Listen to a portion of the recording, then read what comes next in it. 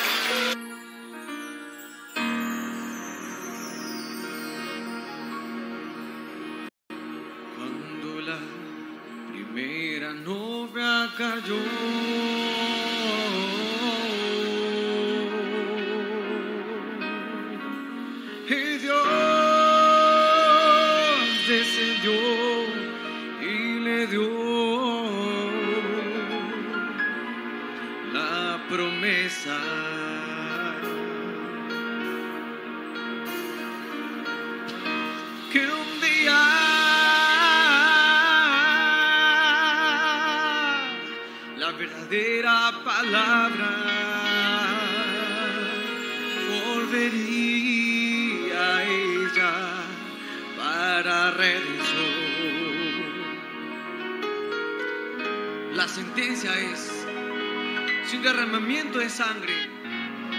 No hay y Y la paga del pecado.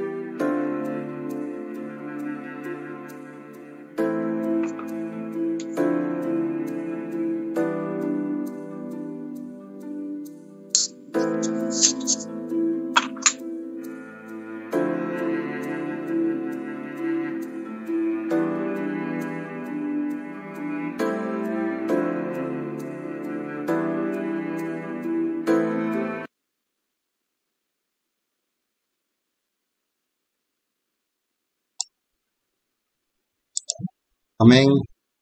Amén, hermanos y hermanas. Que el Señor Jesucristo los bendiga.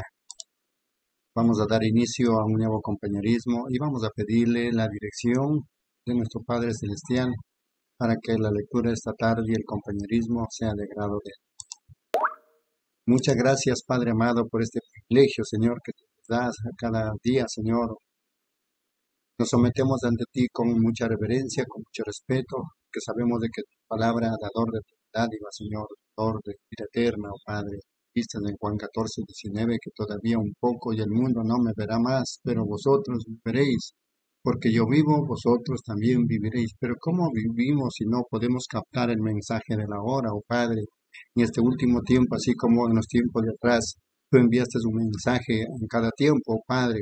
Cuando Noé vino en escena, tú enviaste un mensaje a Enoch, a Abraham, Moisés, a todos ellos, pero en este último tiempo, Padre, tú enviaste también a los siete ángeles, Señor, mensajes, así como en el quinto ángel, oh Padre amado, el justo en su fe vivirá, y todos se sometieron allí, oh Padre, sin santidad nadie verá a Dios, oh Padre amado, eso fue Juan Wesley, oh Padre amado, pero en este último tiempo un mensaje fue para los pentecostales, pero ellos no lo recibieron. Estaba Apocalipsis 17, Señor, entrando en la escena, sino que en los días de la voz del séptimo ángel, cuando Él comience a tocar la trompeta, el misterio de Dios será consumado, como así lo anunciaste a tu siervo los profetas, oh Padre. Y ese es el motivo, esa es la razón.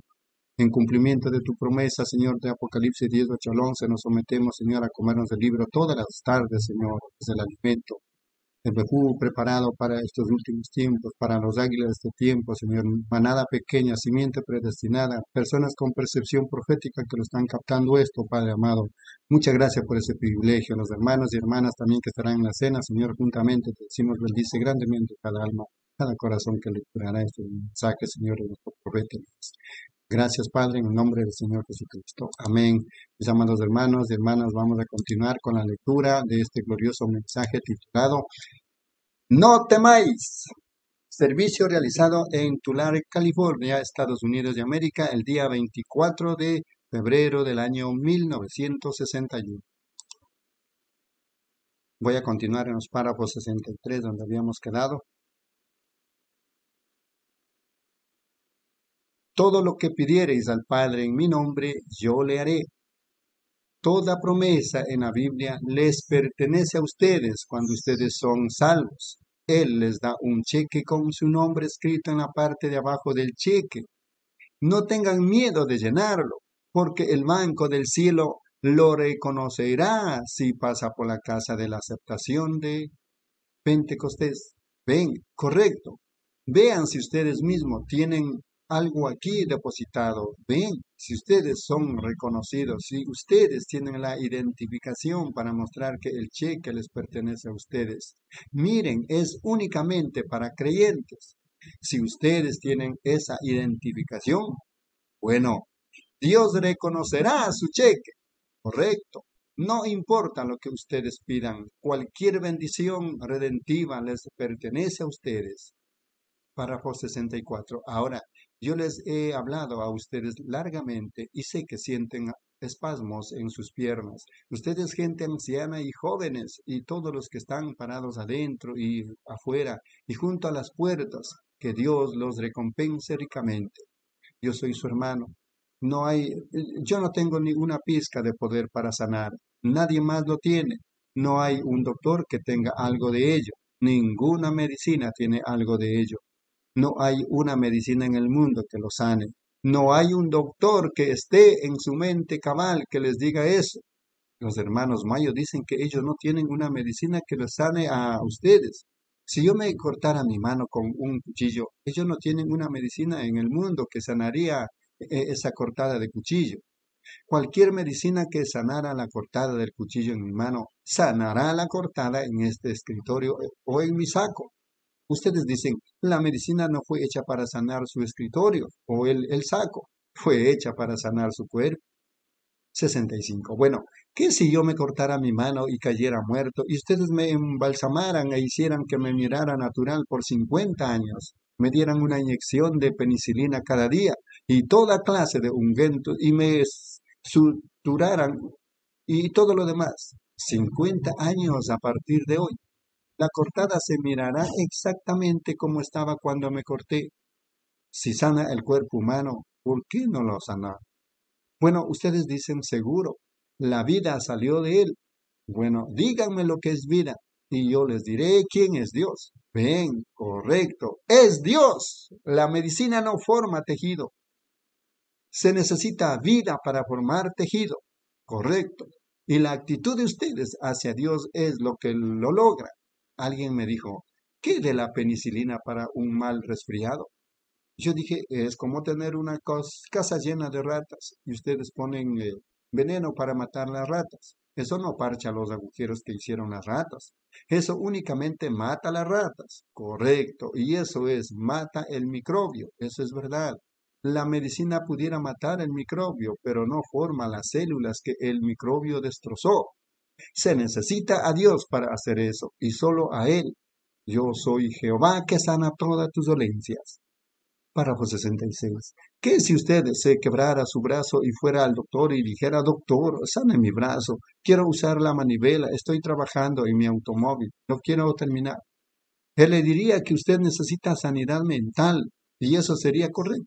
Él pudiera inmovilizar su brazo, pero Dios tiene que producir el calcio y la vida, las sustancias y cosas para sanarlo. Se necesita a Dios. No tenemos nada que sane ninguna medicina sana, Dios sana y su actitud hacia Dios, el que hace la sanidad. Y nosotros nos podemos entender todavía lo que es la vida.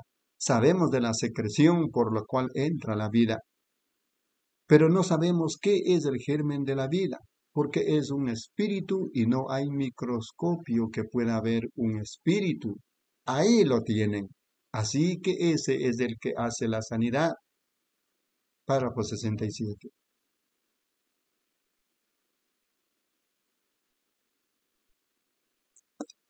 ¿Creerán ustedes que en, Él esta noche, si Él viene a, nuestros medios esta noche, solo llamemos a un grupito acá arriba?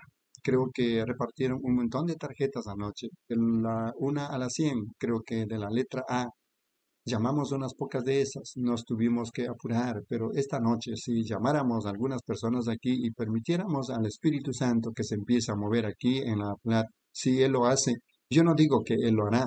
Y entonces si Él va a la audiencia y se empieza a mover en la audiencia y a hacer la mismísima cosa en la audiencia con ustedes sin tarjetas de oración, igual que Él hace aquí con los que tienen tarjetas de oración, Ustedes solo toquen su manto y vean si él no, si él no es el mismo sumo sacerdote. ¿Cuántos creerían si ustedes vieran que lo que yo he hablado esta noche se cumplirá? Si cumpliera, perdón, levanten sus manos por todo el edificio, ahora inclinen sus rostros. Párrafo 68. Nuestro Padre Celestial, esto es hasta donde cualquier hombre pudiera llegar, pudiera explicar la palabra. Ahora, la fe es por el oír y el oír por la palabra. Aquí hay gente en catres, camillas, silla de ruedas. Hay algunas allá en la audiencia que se están muriendo con problemas de corazón, con cáncer. Sin duda que hay toda clase de enfermedades aquí. Dios, Padre, quizás haya incrédulos sentados cerca. Pueda que haya algunos que no están convertidos sentados cerca si ellos lo son, Padre, si ellos ven tu presencia descender para probar que tú eres, que tú eres el Dios quien hizo la promesa y estás en nuestros medios, seguramente que si tú haces tanto así, creeremos la historia redentiva que tú sí moriste por nuestras rebeliones y por tus llagas fuimos nosotros curados. Concédelo, Señor. Yo mismo me encomiendo a ti y a esta audiencia y a todos en tus manos. Y Dios Padre, te amo por tu palabra. Yo amo esta maravillosa audiencia de personas quienes han escuchado atentamente. Han estado parados con espasmos en sus piernas. Sus piernas están tiesas y adoloridas, pero óyeme, Señor, por favor. Cuando este grupo deje este campo para ferias esta noche y regresen a sus hogares, Señor, un día después de que fuiste crucificado y enterrado, ellos pensaron que todo había terminado. Tú estabas muerto y enterrado y eso era todo. Hubo dos hombres, Cleofás y su amigo, que iban camino a Emaús. Alguien caminó con ellos todo el día, hablándoles tocante a la palabra de Dios. Ellos no reconocieron quién era, pero cuando los tenías esa noche, los tenías dentro del edificio y cerraste las puertas. Él hizo algo delante de ellos exactamente igual a lo que hizo antes de que fuera crucificado. Ellos lo reconocieron, porque nadie más lo hacía de esa manera. Ellos supieron que era él y rápidamente se desvaneció de su vista detrás de la cortina en alguna parte y se fue rápidamente y con el corazón alegre regresaron corriendo para decirle al resto de los discípulos, en verdad el Señor ha resucitado. ¿Harás tú esta noche la misma cosa, Señor? Vendrás a nuestros medios y obrarás y harás exactamente como tú hiciste antes que fueras crucificado, para que esta audiencia pueda saber que tú eres su Dios y su Salvador y que tú has sido el que lo has perdonado y bendecido. Y que ellos comprendan que si tú haces algo como hiciste antes de tu crucifixión, que sepan que tú no estás muerto, sino que tú vives por los siglos de los siglos, como la Escritura dice que tú estás vivo el mismo ayer, hoy y por los siglos. Si tú haces eso, Señor, todos regresaremos a casa diciendo como ellos dijeron, ¿no ardía nuestro corazón en nosotros mientras nos hablaba en el camino? Lo pedimos en el nombre de Jesús. Amén. Seguramente que Dios nos ayudará esta noche con una audiencia como esta, parada pacientemente. Un hermano le pide a alguien que mueva un automóvil que está obstaculizando un estacionamiento. Gracias. Sí, hermano. Muy bien. Está bien. Si usted, por favor, tendrá la bondad. Yo veo a alguien yendo ahora. Así que me imagino que el hermano irá afuera. Muy bien. Gracias. Párrafo 71. Yo los he retenido tanto tiempo esta noche, pero estoy, estoy tratando únicamente de, ven, si ustedes entran sin saber lo que están haciendo, entonces, qué bien hace eso, ven, pero ustedes yo, yo los quiero llevar a un punto en donde ustedes puedan ver que sí, es la escritura, es el cumplimiento de las escrituras. Ahora, anoche tomamos el tema de que él iba. El Mesías iba a aparecer en el cuerpo de creyentes en este último día para ejecutar y hacer la misma cosa que él hizo en ese entonces. Ahora, yo creo que nosotros, ¿en dónde? Empezamos con la número uno anoche y llamamos un montón. ¿No fue? Solo llamamos unas cuantas empezando con la número uno. Continuaremos llamándolas de todas partes hasta que todas estén aquí arriba. Párrafo 72 por último y Dios le bendiga hermana Edith que por favor continúe de los párrafos 73 al 82. Párrafo 72. Empecemos esta noche en alguna otra parte. Cada vez les dijimos a ustedes que nosotros les dije a los hermanos ministros que empezaríamos de alguna parte cada noche de esas mismas tarjetas de alguna parte cada noche. Empecemos. Llamemos de la 80, eso sería 80 y veamos si podemos. ¿Cuántos deberíamos ah, parar aquí? Pudiéramos parar como unas 15 o 20 personas tal vez. ¿Quién tiene la tarjeta de oración número 80? Levante su mano. La tarjeta de oración. Cualquiera que quiera que Jesús lo sane, levante su mano. Todos los que no tienen una tarjeta de oración. Amén, mis amados hermanos y hermanas, que el Señor Jesucristo los siga bendiciendo. Estamos lecturando este glorioso mensaje titulado No temáis, servicio realizado en Tula, Tulare, California, Estados Unidos, día 24 de febrero del año 1961. A continuación, hermana Edith, por favor, en los párrafos 73 al 82. Dios les bendiga, hermanos y hermanas. Continuando con la lectura del mensaje, no temáis. Párrafo 73. Muy bien. Ahora mientras que ellos, que los ujieres los están reuniendo, ahora conmigo. Solo recuerden que esa tarjeta de oración no tiene que ver con ello. ¿Cuántos han estado antes en la reunión y saben que eso es verdad? Levanten sus manos, seguro. No tiene una sola cosa que ver con ello, ni una sola cosa. Ahora, ustedes que están sentados en la audiencia y no tienen una tarjeta de oración, solo oren y digan, el hermano Branham no me conoce. Señor, Él me dijo hace un rato que tú eres un sumo sacerdote que te puedes compadecer de nuestras debilidades. Ahora yo te voy a tocar. Me estoy olvidando del hermano Branham parado allí, pero yo te voy a tocar a ti. Mi fe te mira a ti, Señor. Yo te quiero tocar. Ahora, no se pongan nerviosos al respecto. Nada va a pasar. Solo calmadamente. Solo vengan en fe. Solo digan, Señor, permíteme tocarte. Y luego digan, ¿cómo sabría yo que tú, que yo te toqué a ti? Tú haz que el hermano Branham se voltee y me diga, igual que lo que tú hiciste cuando una mujer te tocó por medio de tu hijo, Jesús. El hermano Branham y sus y esos ministros allí son tus hijos adoptados, ¿ven? Pero ellos están tomando el lugar del hijo mientras que él está allá arriba, intercediendo como el sumo sacerdote. Él es nuestro hermano anciano. ¿Sabían ustedes eso?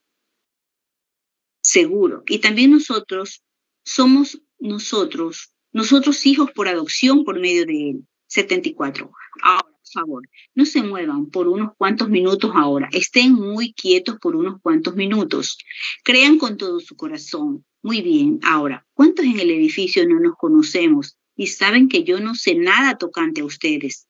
Levanten sus manos toda la audiencia.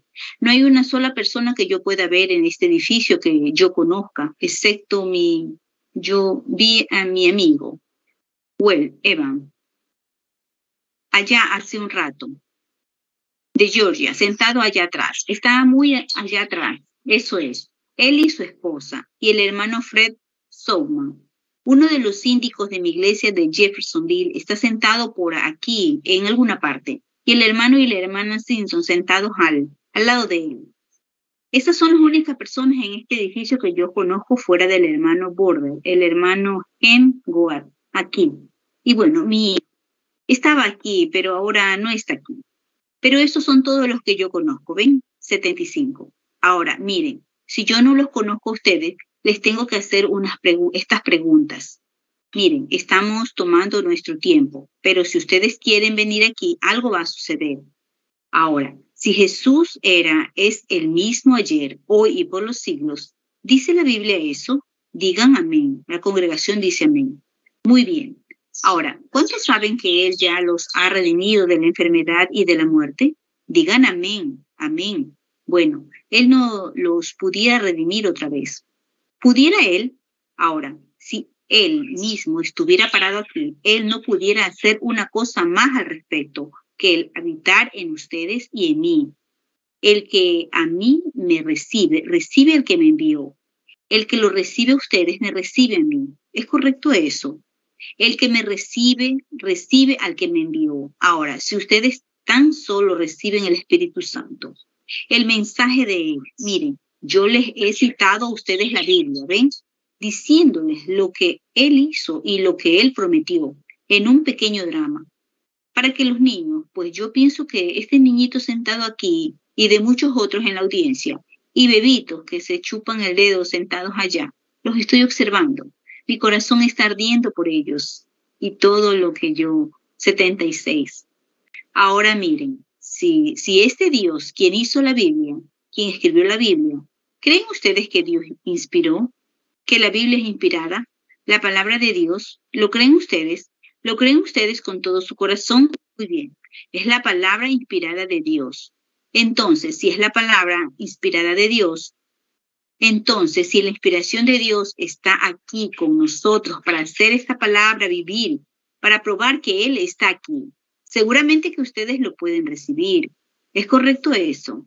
Ahora miren, yo quiero saber, ustedes aquí en esta fila de oración, todos ustedes, los que no nos conocemos, y yo no sé nada tocante a ustedes, levanten su mano. ¿Ven? Miren, no nos conocemos, no nos conocemos. Ahora recuerden, yo no soy un sanador, ni algún otro hombre es un sanador. Dios es el sanador, correcto. Ahora, si Jesús estuviera parado aquí esta noche, como dije, con este traje puesto que Él me dio, y si Él mismo se quisiera declarar, ¿cómo sabrían ustedes que es Él? Él actuaría de la misma manera que Él actuó cuando Él estuvo en la tierra. ¿Es correcto eso? Él haría la misma cosa. Entonces ustedes sabrían si él fue el Mesías. Ahora yo no soy el Mesías. Ningún otro hombre es el Mesías. Él es el Mesías. Pero su espíritu habita en nosotros. ¿Ven? No somos nosotros, porque yo, de mí mismo, miren, aquí está una mujer. ¿Es esta la mujer que está para que se ore por ella? Muy bien. 77. Ahora, yo no conozco a la mujer, nunca la he visto a ella en mi vida. Ella levantó su mano hace unos cuantos minutos afirmando que ninguno de nosotros nos conocemos. Aquí está mi mano levantada, con la Biblia abierta aquí, que yo no la conozco, yo nunca la he visto a ella. Usted no me conoce, aquí estamos sin conocernos. Ahora mire, aquí está un cuadro muy hermoso de San Juan 4. Aquí está una escena como la del pozo allá, el pozo público de Samaria. Ahora, toda persona aquí esté lista para recibirlo ahora, ¿ven? Y esto, esto lo concluirá aquí mismo. Ustedes estén listos, ustedes estén listos. Ustedes, ustedes, todos, por donde quiera aquí, solo estén listos. ¿Ven?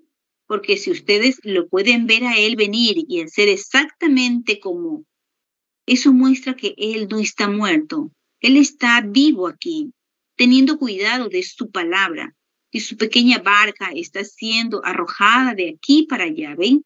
Entonces crean, solo acéptenlo, no tengan temor. Él dijo, yo soy, no temáis.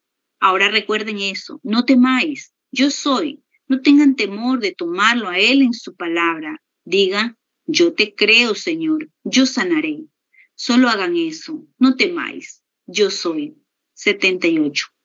Ahora escuchen, si esta mujer y yo somos perfectamente desconocidos uno del otro y nunca nos hemos visto uno al otro, si yo estoy ungido con el Espíritu Santo y le pudiera decir algo de su vida, como Jesús le dijo a la mujer del pozo, lo que pudiera ser que está en su vida.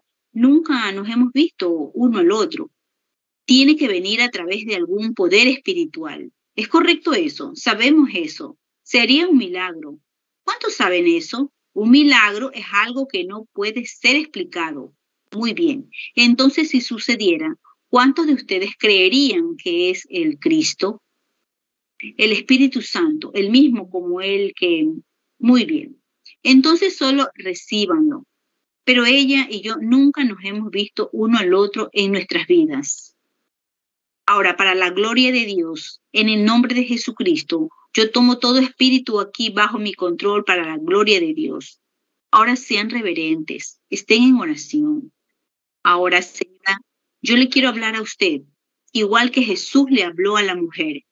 Mire, usted pudiera estar aquí por una enfermedad, usted pudiera estar aquí por alguien más, usted pudiera, yo no sé, ¿ven? Pudiera ser económico, yo, yo, usted solo es una mujer para aquí. De esa misma manera, esa mujer encontró a nuestro Señor. 78. Mire, y él le habló a ella un ratito. Ahora, usted tiene que tomar mi palabra por esto. Yo no pudiera aprobar esto por la escritura pero le era necesario pasar por Samaria. Y él dijo que no hacía nada hasta que el Padre se lo mostrara. Así que ha de haber sido de esta manera. El, el, Padre lo envió a Samaria. Muy bien. La única cosa que él sabía que tenía que hacer era ir a Samaria. Él pensó que se debía quedar solo. Así que él envió a los discípulos. Él esperó llegó una mujer, así que esa ha de haber sido ella. Así que él se sentó allí y empezó a platicar con ella. ¿Qué estaba haciendo él? Contactando su espíritu. Miren, si él hubiera ido allá y dicho, yo soy el Mesías, yo, yo, sí, soy el Mesías. Lo mejor era que ella dijera eso, ¿ve? Dejar que él mismo se declarara a esta mujer, ¿ve? Dios obra en maneras misteriosas. ¿Ve? Y él le dijo a esa mujer algo que estaba en su vida. Bueno, ella dijo, tú has de ser profeta. Yo sé que cuando el Mesías venga, Él nos declarará esto a nosotros. Ella dijo, Él hará estas cosas. Jesús dijo, yo soy Él. Ahora, Él prometió las mismas obras, especialmente en esta edad, 80. Ahora, si usted estuviera enferma y yo dijera, yo tengo un don de sanidad divina, Un don de sanidad divina no es nada sino fe en sanidad divina. Eso es todo lo que es, tener fe. Todo el que tiene fe en sanidad divina tiene un don de sanidad divina, porque eso es todo lo que es. Ahora, eso no lo hace a ellos unos sanadores divinos, como tampoco hace a un hombre que cree en salvación un salvador divino. ¿Ven? Es solo, él cree en eso. Yo creo en eso también, pero yo no soy una persona dotada como algunos hombres, como Jack Coe, y muchos de esos hermanos lo eran, simplemente verdaderos. Me imagino que ellos, Dios lidia con ellos en sus maneras, y con el hermano Robert en su manera, y conmigo en mi manera. Nosotros solo tenemos ministerios. Eso es todo. 81. Dios puso en la iglesia apóstoles, profetas, maestros, evangelistas, pastores. Eso es todo. Entonces hay nueve dones espirituales en la iglesia. Usted dice, hermano Brana, ¿qué está tratando de hacer usted? Estoy tratando de contactar su espíritu. Jesús me envió a esta ciudad. Yo fui guiado aquí. Ahora, aquí está una mujer, porque tiene un número en su tarjeta de oración muy allá en los Olvidé de dónde llamé, 50 o 75 o por allí. Olvidé en qué número estaba. Pero sucede que usted es esa mujer parada aquí. Muy bien. Mire, no nos conocemos uno al otro. Ahora, ¿qué estoy tratando de hacer? Contactar su espíritu. Y si el Señor Dios, si yo dijera que tengo un don de sanidad, pusiera mis manos sobre usted y dijera, alabado el Señor, aleluya, usted va a sanar. Eso estaría bien. Si usted fuera y lo creyera, usted sanaría. Yo lo creo. Dios honrará su fe. Pero ¿qué si Él viene y le dice algo que usted, que usted ha sido, y entonces le dice lo que usted será? Usted sabe si es que, si lo que ha sido, si es la verdad o no. Algo que usted ha hecho en su vida, muy allá en el pasado, o lo que Él diga, o algo de ese tipo. Entonces lo haría el mismo Mesías. La audiencia no lo pensaría, ellos lo creerían y solo lo aceptarían. 82. Miren, que Él lo conceda. Miren si la audiencia todavía puede oír mi voz. Esa columna de fuego que ustedes ven en la fotografía está posando entre la mujer y yo. Yo la veo a ella. Ella se está alejando, ella se mira años más joven que los que tiene actualmente parada cerca de mí. Ella ha regresado. Ella ha tenido una clase de operación y fue en su garganta. Era un bocio, correcto. ¿Es eso? Si eso es correcto, levante su mano. Muy bien. Mire, ¿creen ustedes con todo su corazón? Ahora, hablemosle a la mujer solo un poquito más de tiempo, ¿ven? Solo un poquito más de tiempo, ¿ven? Para que ustedes la gente piensa que uno lo adivina. Veamos qué más dirá él. Sí, la veo ahora otra vez a ella. Es una cirugía en la garganta. Eso fue hace mucho tiempo y la cosa ha regresado otra vez. Usted la tiene otra vez. Eso es correcto. Pero ve, él está escondido del doctor. Pero él no se puede esconder de Dios. Dios sabe exactamente dónde está él es una vida, una multiplicación de células creciendo, sofocándola allí a usted. Es igual que cuando usted era una pequeña bebé en el vientre de su madre creciendo, pero este no tiene forma, solo se está diseminando. Es el demonio, un espíritu, ahogándola, correcto. Dios les bendiga, hermanos. Amén, hermana. Dios le bendiga la lectura recordando y para concluir este glorioso mensaje, no temáis, predicado en Tulare, California, Estados Unidos, día 24 de febrero del año 1961, hermana Rosalia. Dios le bendiga, párrafos 83 al 94. Dios le bendiga, hermanas y hermanos. Continuando con el mensaje, no temáis, párrafo 83. Para que ustedes sepan, Allí está una mujer sentada con problemas de garganta también. Correcto. ¿Qué tocó usted? Yo no la conozco a usted. ¿La conozco? Nunca la he visto en mi vida. Pero eso es de lo que usted está sufriendo, ¿ven?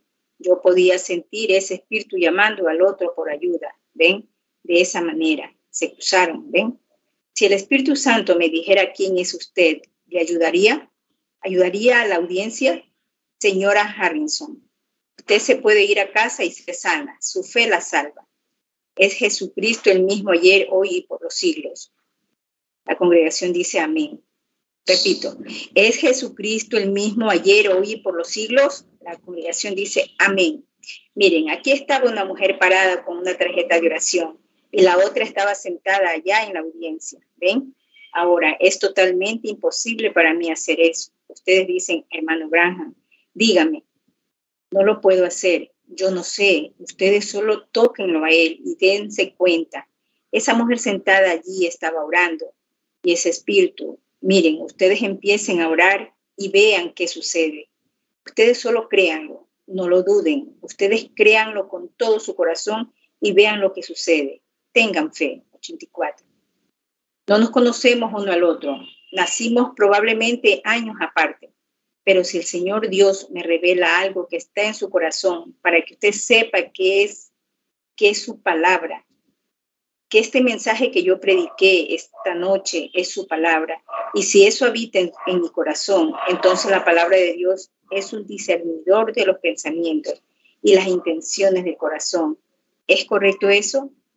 igual que cuando se hizo carne en el Hijo de Dios, es la misma cosa en nuestra carne hoy día, en la iglesia. Así que yo no lo pudiera hacer por mí mismo. Se necesita también a ustedes para hacerlo. Se necesita a aquellos allá en la audiencia. Se necesita a alguien más allá en la audiencia que tenga la misma opción. ¿Ven? Pudiera que no obrará, pero quizás ellos no sean capaces de hablarlo porque esto es un don, ¿ven? Fue desde que yo nací. Los dones y el, y el llamamiento son sin arrepentimiento. Yo solo era un bebé pequeñito y la misma cosa sucedía durante toda mi vida sin arrepentimiento. 85. Usted está enferma porque ha estado consultando a un doctor tocante algo, ¿correcto? Y eso es, eso es un problema de la garganta también, sí. Y ahora aquí está el análisis de ello usted sea la juez, está en la caja de la voz. Y es una úlcera dentro de la caja de la voz. Lo era, ya no lo es. Ahora su fe la ha salvado. Solo tengan fe, no nos conocemos uno al otro, señora. Yo no la conozco. Si Dios me revela la razón por la cual está usted aquí, ¿cree usted que yo soy su profeta o su siervo? ¿Creerá? Es una hernia. Ha tenido algunos problemas. Mm, no los ha tenido. Ha tenido algunas cirugías, operaciones detrás de la línea intestinal debido al cáncer. Ahora se ha formado una hernia. Eso es verdad. ¿Cree usted que Él la sanó? Entonces siga adelante. Dios la sanará. Dios la bendiga. Tenga fe. ¿Creen ustedes? Allá en la audiencia, solo sean muy reverentes. A mí no me importa en dónde estén ustedes. Yo, yo les pido como su hermano, en el nombre de Jesucristo, que crean que esto es la verdad. Observen lo que sucede. Solo oren, digan, Señor, permíteme tocarte. Vean lo que sucede. Yo, yo creo. 86. Ahora, esas visiones me debilitan mucho. Estoy muy débil. ¿Cuántos entienden eso? Seguro. Si el Hijo de Dios, solo una sola persona lo tocó y dijo que fuerza había salido de él. ¿Qué de mí un pecador salvo por gracia? pero eso declara que Él está aquí, declara su presencia. Él está aquí. ¿Creen eso también ustedes allá amparados por donde quiera? ¿Lo creen? Solo, solo tengan fe y créanlo, venga aquí. Miren, cuando yo tenga como unas tres de estas, ustedes díganmelo, pues yo tengo otras reuniones próximas. Usted, usted no me conoce, yo no la conozco a usted, pero ¿cree usted que yo soy su siervo? Si nuestro Señor estuviera parado aquí en forma física y usted estuviera parada aquí, Él está aquí espiritualmente, porque es el Espíritu Santo que descendió sobre Él como una paloma y ahora Él viene sobre nosotros como un fuego. Usted es una creyente. Yo no me refiero a una inconstante en la fe, yo me refiero a una creyente, ¿correcto? Entonces, ¿me cree usted que yo soy su siervo? Si yo fuera capaz de decirle por el Espíritu de Dios la razón por la cual está usted aquí, ¿me creerá? Por sinusitis. Oh, eso es una cosa terrible, correcto. Si eso es correcto, levante su mano. Eso es correcto. Pero eso no es todo lo que está en su corazón. Usted tiene algo más en su corazón de lo cual usted quiere que yo se lo diga. Él tiene una úlcera en su pierna. La señora dice, sí, tome ese pañuelo con el cual usted se está limpiando sus lágrimas y póngalo sobre la úlcera. Lo dejará. Se puede ir y crea. 87. ¿Cómo está usted, señor? No nos conocemos uno al otro. Yo nunca lo he visto a usted antes y no nos conocemos uno al otro. Pero el Dios del cielo, quien levantó a su Hijo Jesucristo, quien ascendió a lo alto y envió dones a los hombres, y él puso en la iglesia apóstoles, lo cual significa misioneros, profetas, que significa videntes, pastores, evangelistas y lo demás. Él todavía permanece Dios. Si Dios me revela cuál es su problema, ¿me recibirá como su profeta o su siervo? ¿Hará usted eso? Muy bien, Señor. ¿Hará la audiencia la misma cosa? ¿Es esta la tercera o, bueno, solo tenemos esta aquí? Hay algo extraño tocante al hombre. Todavía no lo puedo entender, pero ¿qué es el Espíritu Santo? Pero que el Espíritu Santo lo revele a medida que hablo con él. Yo espero que mi voz sea lo suficiente fuerte para que ustedes me puedan oír. 88. Va más allá. Ahora, aquí viene al hombre. El hombre está en una condición terrible, casi está a punto de morir. Él está sombreado de muerte con un cáncer y el cáncer está en su garganta. Eso es correcto. Usted sabe, él fuma cigarrillos, es perjudicial para la garganta. ¿Los dejará? ¿Renunciará a ellos? Otra cosa, usted no es cristiano, usted es un pecador. ¿Lo aceptará usted a él como su salvador para su alma? Si Dios por su, el apóstol Pedro vino, él era un pecador también. Si Dios me revela su nombre y me dice su nombre como él se lo dijo al apóstol Pedro, ¿Creerá usted que es el Cristo, el Dios que lo ama a usted y lo salva ahora? Eh, ¿Tomará usted mi palabra que sus pecados son perdonados? ¿Lo hará? Señor Davidson, entonces se puede ir a casa y sea sano. Tengan fe en Dios. Continúo sintiendo algo que viene de allá. Continúo sintiendo algo que viene de allá, de alguna parte de la audiencia. Ustedes piensan que yo estoy adivinando la mente de ellos. No lo estoy. Mire, solo toque mi mano, señora. Si yo miro en esta dirección y le digo cuál es su problema, usted sabrá si es correcto o no. ¿Es correcto eso? Entonces su cáncer la dejará. Si usted lo cree, ¿lo creerá usted? Levante su mano. Si eso es así, entonces se puede ir. Tenga fe. 89. Venga, señora. ¿Creerá usted, señora? La señora dice, lo creeré. Si Dios me revela mirando yo en esta dirección, ¿cuál es su problema? ¿Creerá usted que yo soy su profeta o su siervo? ¿Cree usted que yo soy su... Gracias, hermana. Entonces se puede ir a comer su cena. Esa condición estomacal la ha dejado. Si yo les digo a ustedes, antes que la señora venga, que ella tiene la misma cosa, tiene un estómago nervioso, usted lo ha tenido por mucho tiempo, se puede ir a comer, tenga fe, ¿Cree usted que su problema de la espalda la dejó sentado allá? Bueno, entonces se puede ir. Y alabe al Señor, no lo dude. Venga, señora, problema del corazón.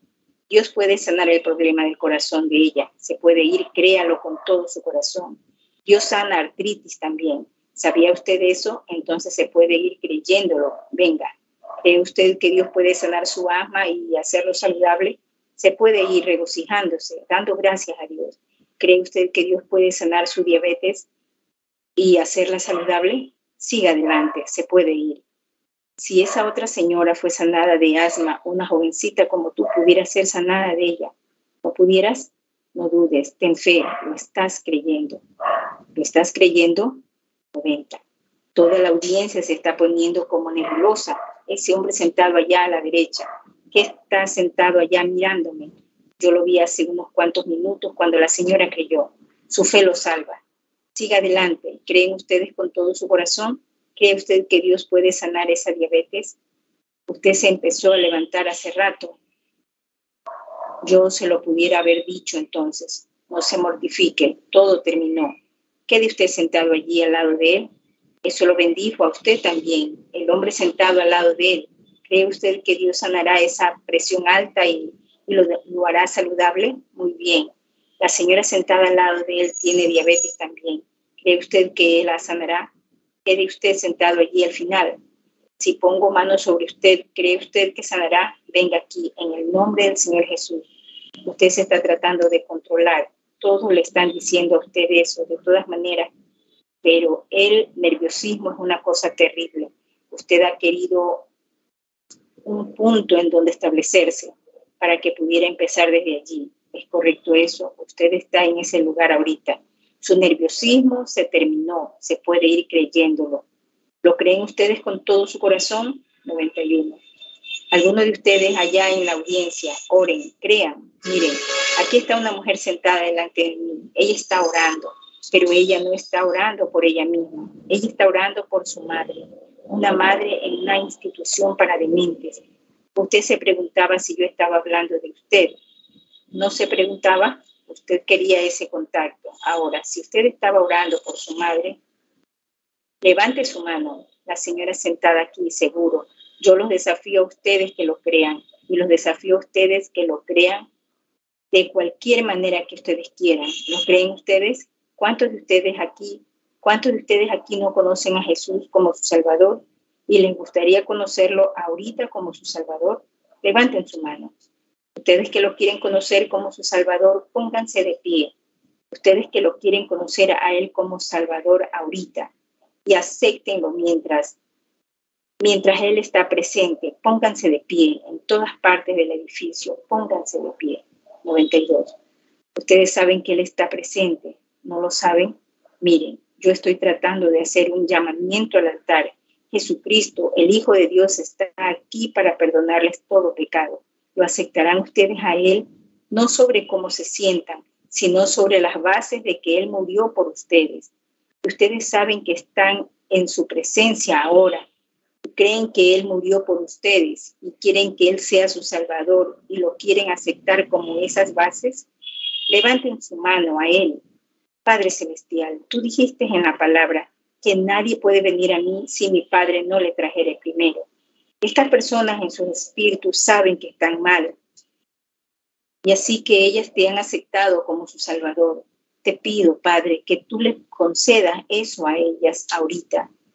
Ellas te han aceptado. Tú dijiste, al que a mí viene, no le echo fuera. Venid a mí todos los que estáis trabajados y cargados, y yo os haré descansar. Tú dijiste en San Juan 5:24, el que oye mi palabra y crea el que me envió tiene vida eterna y no vendrá a condenación, mas ha pasado de muerte a vida. Ellas son tuyas, Padre. Ellas son las dádivas de esta reunión. 23. Con nuestros rostros inclinados, si ustedes creen que Dios oye mi oración, yo quiero que vengan aquí al frente, que vengan allí por los pasillos, ustedes que levantaron sus manos, vengan aquí al frente y párense aquí solo por un momento, alrededor del altar, vengan por este lado, solo por un momento todo aquel que quiera a Cristo ahorita, venga aquí al frente solo por un momento, que a otro yo no puedo ir. Y tú me invitas a venir, bendito Cristo, heme aquí. Todo miembro de iglesia que no conoce a Cristo como su Salvador, y usted lo quiere conocer, ¿por qué lo rechazarían a Él ahorita cuando ustedes lo ven que está aquí presente?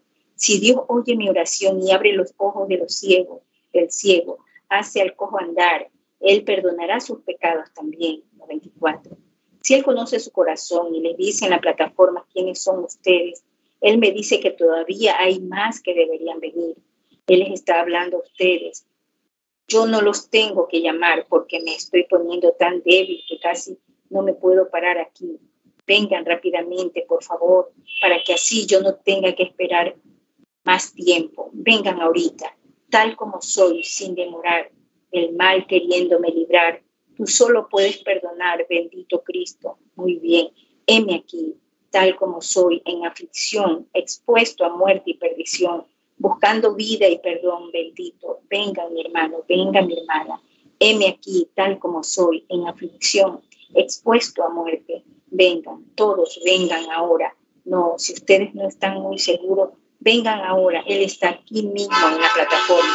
Ante Dios yo les digo, la verdad, esa columna de fuego, Ese ángel de Dios que conoce el corazón de todo hombre está aquí ahora.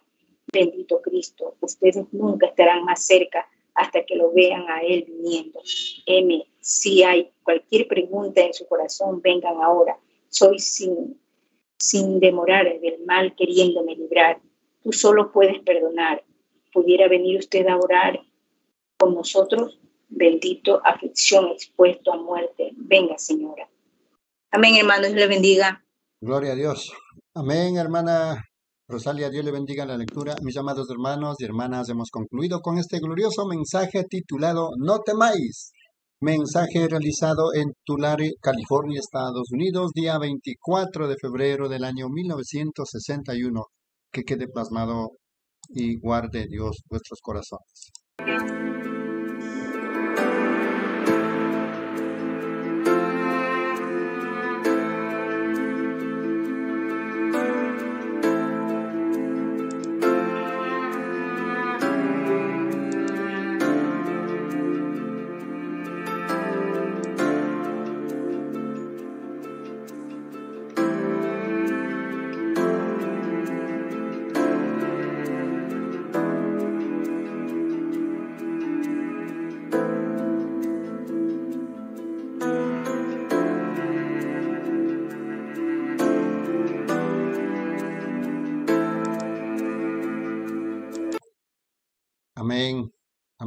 Y hermanas.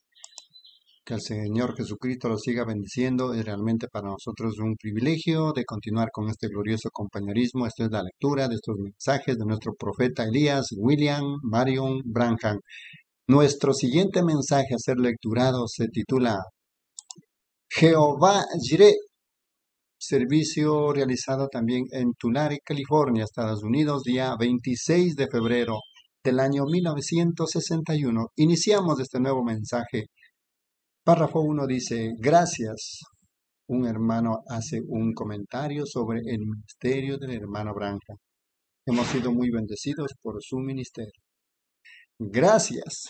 Esperamos que usted haga como lo que hizo en San José, si es posible. Regresar a nosotros en un año, si Dios lo guía. Gracias, hermano. Gracias, hermano El Señor lo bendiga. Se pueden sentar.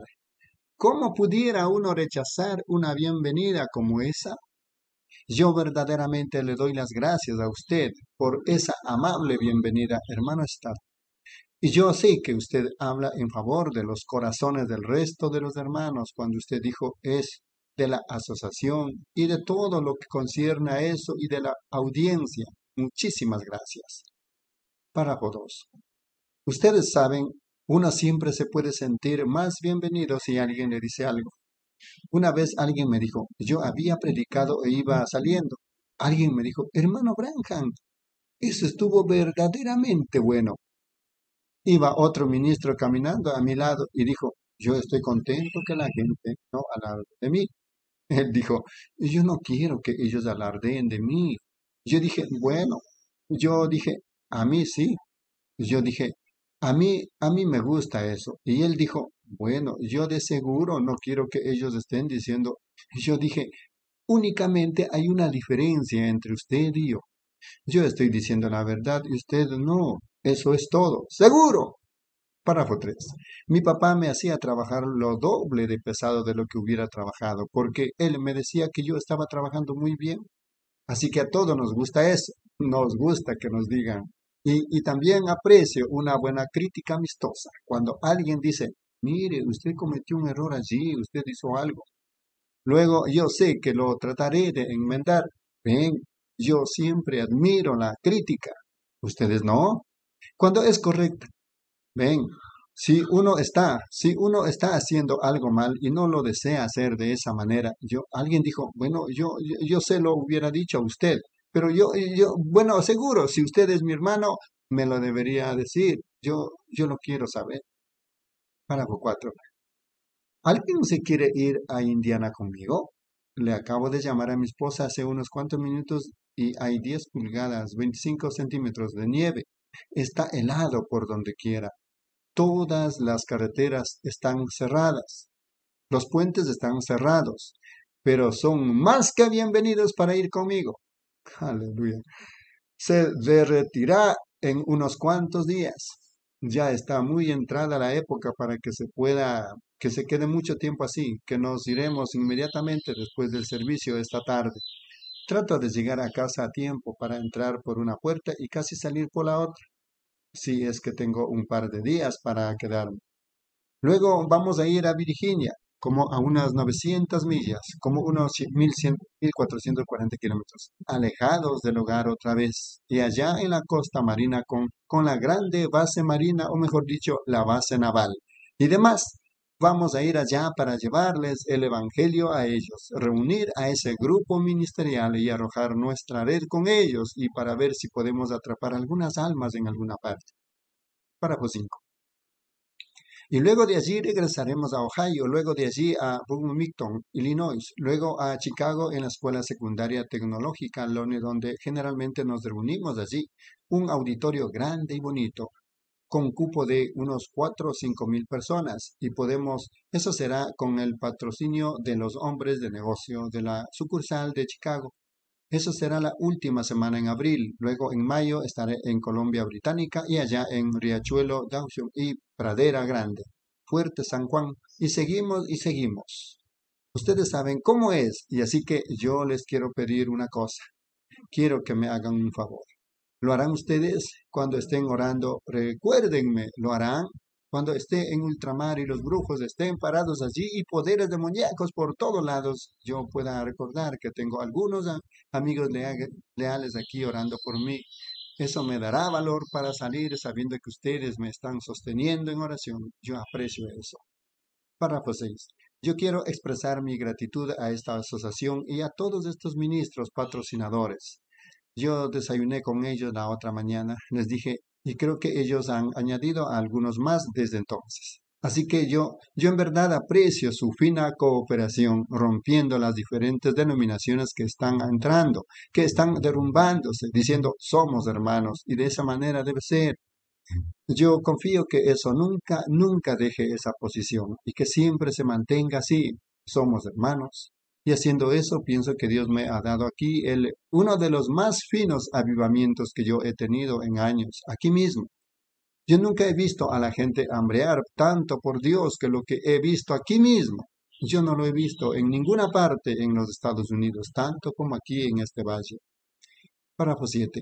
Yo entro en lugares de negocios. Una muchachita católica estaba teniendo tendiendo la cama en el hotel en donde me he estado quedando. Y ella, ella dijo que vivía al lado de algunos pentecostales. Ella dijo, ¿es usted pentecostal?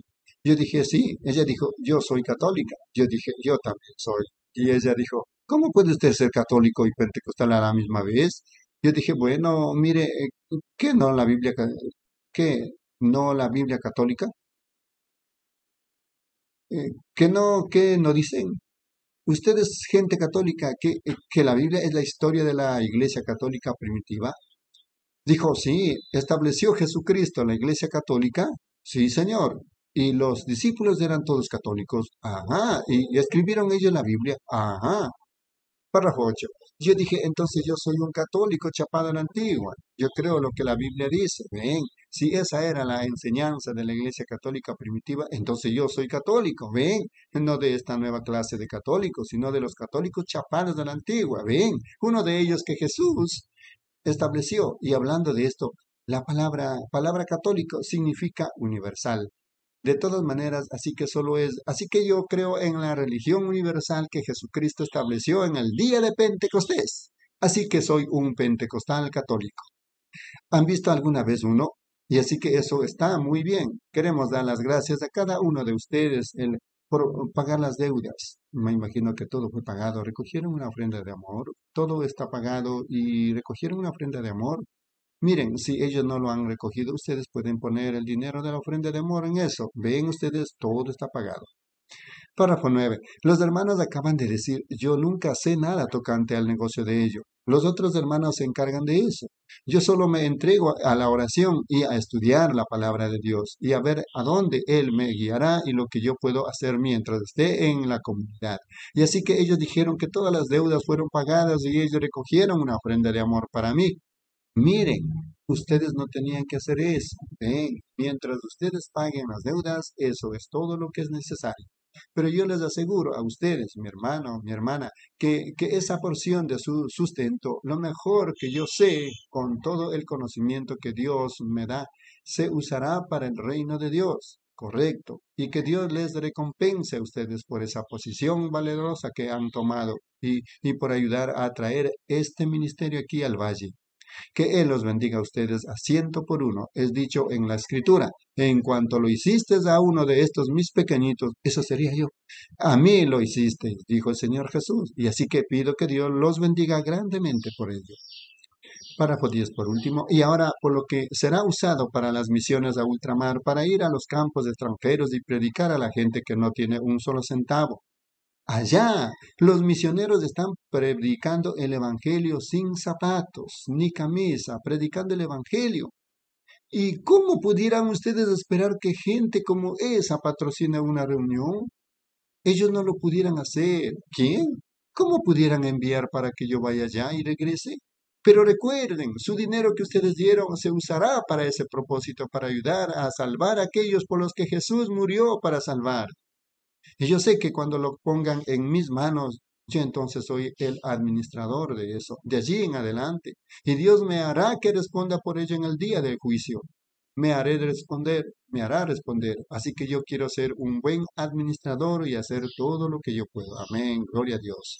Estamos lecturando este glorioso mensaje Jehová Jireh, predicado en Tulare, California, Estados Unidos, día 26 de febrero del año 1961. Para continuar, hermana Edith, en los párrafos 11 al 20.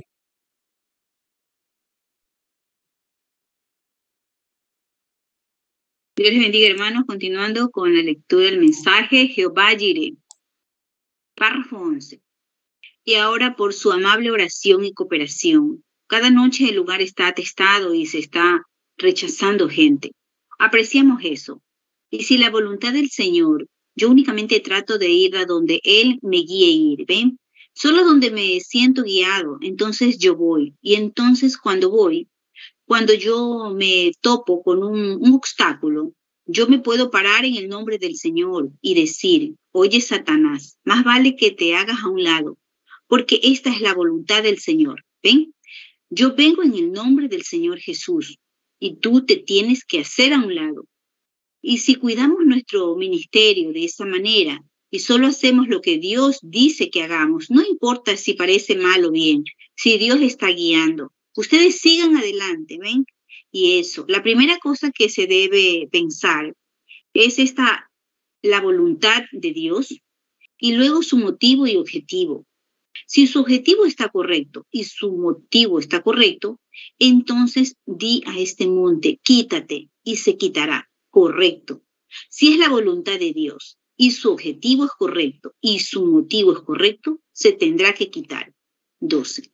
Ustedes han sido pacientes y les damos muchísimas gracias. Y ahora también queremos dar las gracias a los síndicos de esta fundación o quien esté en control aquí por permitirnos venir a este campo para ferias, para tener nuestra reunión aquí. Yo lo aprecio. Yo aprecio ese amable conserje, o mejor dicho, el portero allí. Es muy amistoso, platica, siempre menea su mano de lado a lado saludando. Y es muy amable y toda la música. Yo vi al hermano cantando proveniente de, vino aquí de Los Ángeles. Eso está muy bien, hermana. Yo ciertamente aprecio eso y todos mis amigos de las diferentes partes de la región, de Fresno, y de Bakersfield y de los alrededores que han estado cooperando. Ciertamente les damos gracias a ustedes con todo nuestro corazón. Y si yo he olvidado algo, bueno, perdónenme ustedes. Yo, yo quiero que sepan que realmente apreciamos todo lo que se ha hecho, todo el esfuerzo. Y solo les pido a ustedes que oren por nosotros mientras seguimos adelante. 13. Y ahora, veo algunos pañuelos que están aquí para que se ore por ellos. Bueno, de seguro haremos eso. Y si ustedes no pusieron su pañuelo aquí arriba, solo escríbanme a Jeffersonville, Indiana, apartado postal 325, y ustedes lo recibirán. Ustedes recibirán un pañuelo. Gracias. Recibimos. Ustedes no reciban, no recibirán un pañuelo porque no puedo solventar el gasto de enviarlos. Cuestan como unos 15 o 20 centavos por pieza. Y con miles de ellos, ustedes saben a dónde llega uno. No lo puedo solventar, pero yo tengo listón y cositas que una hermana prepara para mí y los corta y los arregla. Miren, ustedes reciban una carta común del secretario y él escribe allí las instrucciones, porque es una oración universal que se ofrece constantemente. Les dice a ustedes que hagan cómo usen este pedacito de tela de oración. Y si ustedes quieren uno y no lo pueden usar ahorita, pidan uno y pónganlo en su Biblia. En Hechos, el capítulo 19, les dirá a ustedes que hagan con él y entonces manténganlo allí. Si el bebito se levanta alguna noche enfermo, si alguien se lastima, tomen ese pedacito de tela y pónganselo sobre él y observen lo que sucede. Solo crean, ¿ven? Y eso será su señal. 14. Sin costo, sin costo alguno. Solo pídanlo y lo recibirán. Eso es todo. Solo escríbanos. Si ustedes no recuerdan el número 326, piensen en 3 dólares y 25 centavos. Y si no pueden recordar eso, solo pongan Jeffersonville, Indiana. Todos me conocen, aún la policía, y así que ellos se asegurarán que yo lo reciba. Así que ustedes solo pídanlo y estaremos contentos de ministrarlos a ustedes. Sí, ellos vienen a mi iglesia, muchos de ellos. El juez va a mi iglesia y tenemos compañerismo con todos alrededor. Y si hay algo tocante a las visiones o algo, si hay pregunta en alguna de esas cosas, que ustedes se pregunten dónde, por qué no vienen a Jeffersonville y les preguntan a algunos de los oficiales de allí de la ciudad. Vean si estas visiones que siempre han acontecido, vean si ellas alguna vez han fallado. O pregunten a alguien que va a las reuniones y observan y vean si ellas alguna vez han fallado. Seguramente que no. Pienso. Sentado en los restaurantes, manejando en la carretera o en donde esté, ustedes solo ven una, una pequeña porción de ello aquí en la reunión, ¿ven? En las filas de oración, porque son ustedes lo que lo están haciendo de todas maneras, ¿ven? Es su fe lo que está produciendo eso. Cuando Dios la usa, generalmente es una cosa grande, que Él dice el fin desde el principio. Yo estaba sentado en el cuarto hace rato hablando allí con mi precioso hermano Argan Bright y nosotros, y nosotros estábamos hablando tocante a cómo eso sucedió, cómo se cumplió, cómo eso se puede decir aunque antes que suceda. Como usted, él dijo, yo, yo sencillamente no lo entiendo, ¿ve? ¿Cómo es que usted puede estar aquí y decir cosas que van a suceder mañana? ¿Ve? ¿Cómo es que va a suceder en la siguiente semana? En donde usted va a encontrar a una persona, lo que él va a estar haciendo, lo que sucederá cuando, y las meras preguntas que Él le hará a usted, y las meras condiciones en las que usted nos encontrará. Y bueno, es el Espíritu Santo. Él, Él me lo prometió. Ahora, Él no nos dice todas las cosas. Él solo nos dice lo que Él quiera que sepamos. 16. Mire, si usted diría, hermano Brana, ¿qué es lo que Él va a decir tocante a mí? Yo no sé. ¿Qué va a decir Él? ¿Le dice él a usted todo y le permite evadir los problemas? No, señor. Muchas veces he entrado e, en ellos sin saberlo. Correcto. ¿Qué de qué si mi madre se estuviera muriendo y diciendo, hijo, yo me alejé de la mesa muchas veces con hambre para que tú pudieras tener algo que comer. Yo te amamanté cuando eras un pequeño bebé. ¿Voy a sanar o no? Yo no lo sabría. Yo no lo pudiera decir. Yo solo le tendría que preguntar a nuestro Padre Celestial. Si Él me lo dijera, yo se lo pudiera decir a mi madre. Si Él no me lo dijera, yo no se lo pudiera decir a ella, porque yo no lo sabría, ¿ven? Yo solo 17. Todo es soberanía, está en Él. El hombre no tiene nada que ver con Él. Así que, por lo tanto, yo estoy tan contento que Dios lo hizo así, para que así todos, todos nosotros, eso nos une a todos nosotros. Él les pudiera hablar a ustedes y decir la misma cosa, ¿ven? No importa. Así que no hay alguno de nosotros que sea grande o importante. Todos somos los hijitos de Dios. ¿Ven? Todos nosotros somos hijos de Dios. Él lidia diferente con nosotros, pero es el mismo Padre Celestial el que lidia. Ahora, hoy dijimos que oraríamos por todas esas tarjetas de oración que repartimos. Y yo le dije a Billy, ¿cuántas repartiste? Dijo, oh, como unas 400 o 500, eso es todo. Así que él dijo entonces hace rato, dijo, ¿sabe qué? Tuve que repartir tantas, dijo, a tal grado que tuve que llamar a los hermanos para que me ayudaran y les diera a todos una tarjeta de oración. Así que es mejor que empiece. ¿No es así? O nunca terminaremos. Pero nosotros, el Señor nos ayudará. Yo he esperado estos cinco días por este mismísimo momento ahorita, en donde algo sucederá, si solo lo dejamos que suceda. 18. Miren, sabemos que los dones y llamamientos son sin arrepentimiento y únicamente lo podemos hacer mientras que dejemos que Dios lo haga. Y ahora todos nosotros sabemos que la sanidad divina no es algo que un predicador carga en un portafolio, ni es algo que él tiene en su mano. La sanidad divina es la propia fe de ustedes, en una obra terminada que Cristo hizo por ustedes en el Calvario. ¿Ven? Es algo que Dios hizo por ustedes.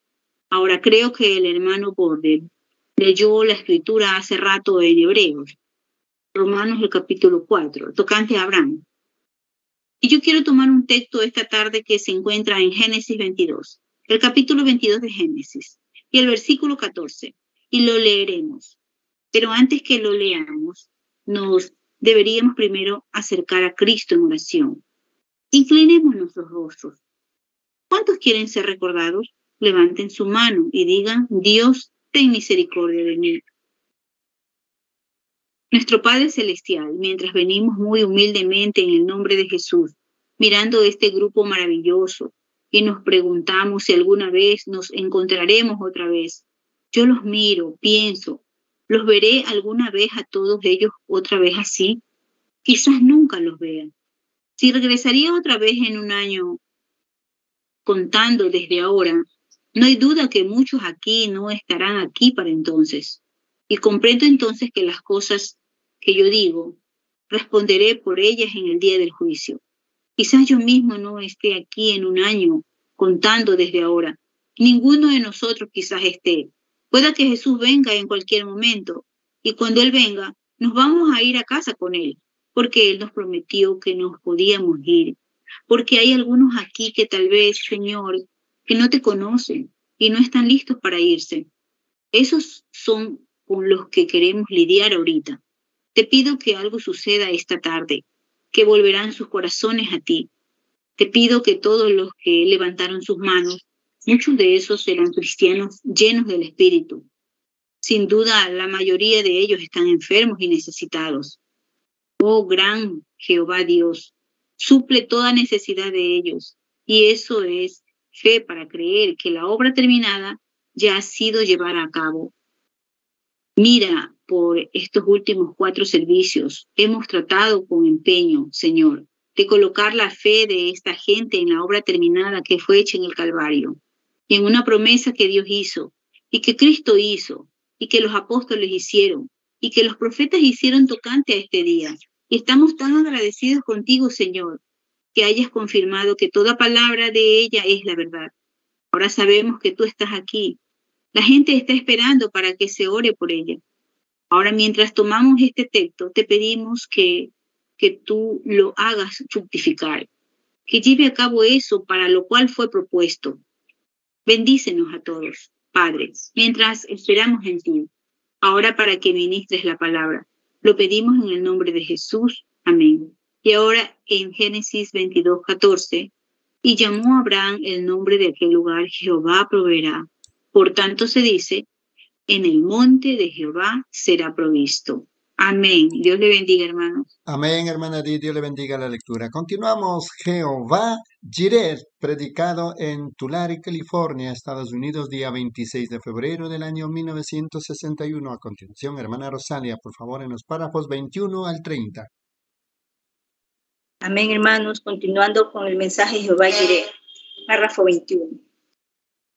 Ahora, yo quiero tomar eh, solo ese nombre de Jehová, Jehová Jireh. Dios tiene siete nombres compuestos redentivos. Jehová Jireh, el Señor se proveerá para sí mismo un sacrificio. Jehová Rafa, el Señor que te sana. Y Jehová Manasés y demás, nuestro escudo, nuestro estandarte. Y esos nombres son inseparables. Si Él es Jehová Jireh, entonces Él es Jehová Rafa también. ¿Ven? Y así que ustedes no pueden separar esos nombres redentivos. Y si Jehová Rafa no era aplicado a Jesús, tampoco era aplicado a él Jehová Jireh. Así que si él no es el sanador, él no es el salvador, no. Y si él es el salvador, él es también el sanador. Y es una obra terminada. Ahora estamos hablando de Abraham y de Jehová Jireh. Y la palabra Jireh significa el Señor se proveerá para sí mismo un sacrificio. Ahora encontramos al hablar de Abraham. Yo tengo unas cuantas escrituras diferentes de Génesis capítulo 12, 15, 17, 18, 20 y 22. Solo quiero tocar los lugares más sobresalientes de esas escrituras, lo más importante, y combinarlo para un pequeño éxodo esta tarde en nuestra enseñanza para que lo podamos presentar claramente para que ustedes puedan realmente tener fe. Ahora, yo quiero que toda persona, especialmente ustedes por quienes se va a orar, o ustedes que están orando por alguien más, que escuchen atentamente ahora la vida de Abraham. Miren, el pacto fue hecho con Abraham. Y no únicamente con Abraham, sino con Abraham y su simiente después de él. Y entonces debemos recordar que somos la simiente de Abraham. Un judío no es un judío porque es judío, por nacimiento. Un judío es un judío en lo interior. Él es la simiente de Abraham cuando es revestido de Cristo. Él llega a ser la simiente de Abraham y está en el pacto con Abraham, pues la promesa fue hecha a Abraham. Ahora, ¿cómo llegamos a ser simiente de Abraham? cuando tenemos la fe que tenía Abraham. Si se fijaron ustedes, cuando el hermano Borders leyó las escrituras, vino esta fe a Abraham cuando él estaba en la circuncisión o en la incircuncisión. Vino cuando él estaba antes que fuera circuncidado. Así que ven ustedes, las obras no nos llevan a ninguna parte. Es nuestra fe que nos salva. Y yo, yo quiero que ustedes se fijen que Abraham creyó a Dios y le fue contado o impartido por justicia, porque él creyó a Dios. Ahora, ¿qué hizo él? Tomando la lectura de la escritura, tampoco dudó por incredulidad de la promesa de Dios, sino que fortaleció en fe, sino que se fortaleció en fe, dando gloria a Dios. Miren, si somos simiente de Abraham, miren, escuchen atentamente. Ahora, va a pellizcar si somos la simiente de Abraham. No hay nada que nos hará dudar y nos aparte de la promesa de Dios. No importa lo que venga, a quien diga algo diferente o quien diga algo diferente, la simiente de Abraham nunca dejará esa promesa. Si ustedes son simiente de Abraham, pero si ustedes dudan y se apartan y dicen, bueno, no lo recibí, yo ha de haber sido para otra generación, sencillamente no obra en mí. Esa no es la simiente de Abraham. Entonces hay, hay algo mal con su experiencia. Si Dios hace una promesa, Dios tiene que cumplir esa promesa. Si Él no cumple esa promesa, entonces Él no es Dios. Pero si Él cumple esa promesa, la única manera que puede vivir es por su fe haciéndola vivir. La palabra de Dios es una simiente. Y si Dios le dio a Abraham la promesa, y hemos tenido miles de años de experiencia desde Abraham. Pero Abraham hizo la promesa, mejor dicho, Dios le hizo la promesa a Abraham y a su simiente después de él. Si entienden, digan amén. A Abraham. Y conclusión y hasta la oración. Conclusión que ata la oración. Abraham es su simiente después de él, no a sus simientes sino a su simiente, la simiente del que Abraham creyó, que venía por fe. A través de esa vino Isaac, a través de Isaac vino Cristo, a través de Cristo vinieron ustedes y yo, la simiente de Abraham, no simientes como si hubiese muchas, sino simiente, la simiente de la promesa, Abraham. Tuvo muchos hijos, tuvo a Ismael y luego tuvo siete hijos con otra mujer, aparte de hijas, después de Sara, después que Sara murió. Así que nos damos cuenta que fue hecha a la simiente de Abraham, la simiente que él creyó que vendría por medio de la mujer libre, quien era estéril en ese tiempo. Ahora, démosle una base por un momentito. Ahora la vamos a empezar en Génesis 12 y llegar hasta Génesis 22, 14.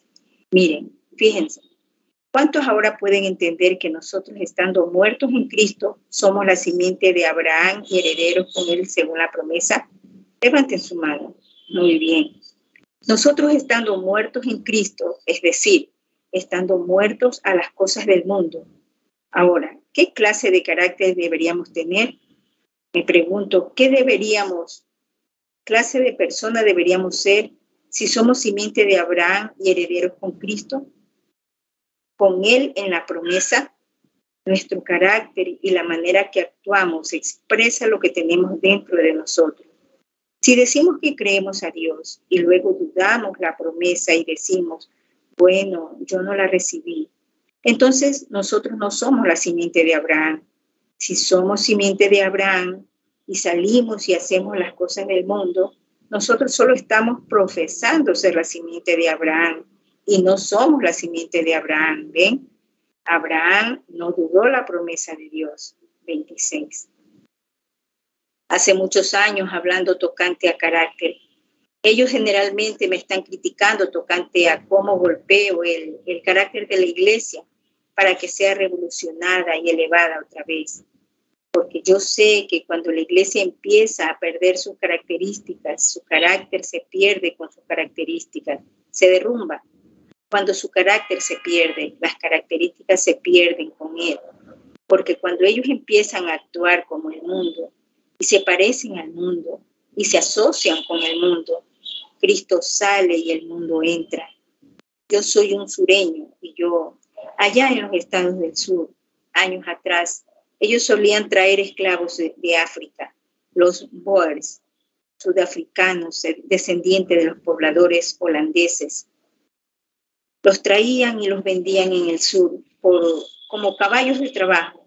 Y yo ciertamente creo que Abraham Lincoln fue uno de los más grandes presidentes que jamás hemos tenido por liberar a los esclavos. Dios nunca intentó que ningún hombre fuera un esclavo, ni por su color, ni por su credo, no importa qué, él nunca debería ser un esclavo. Dios hizo al hombre a su propia imagen, a su semejanza.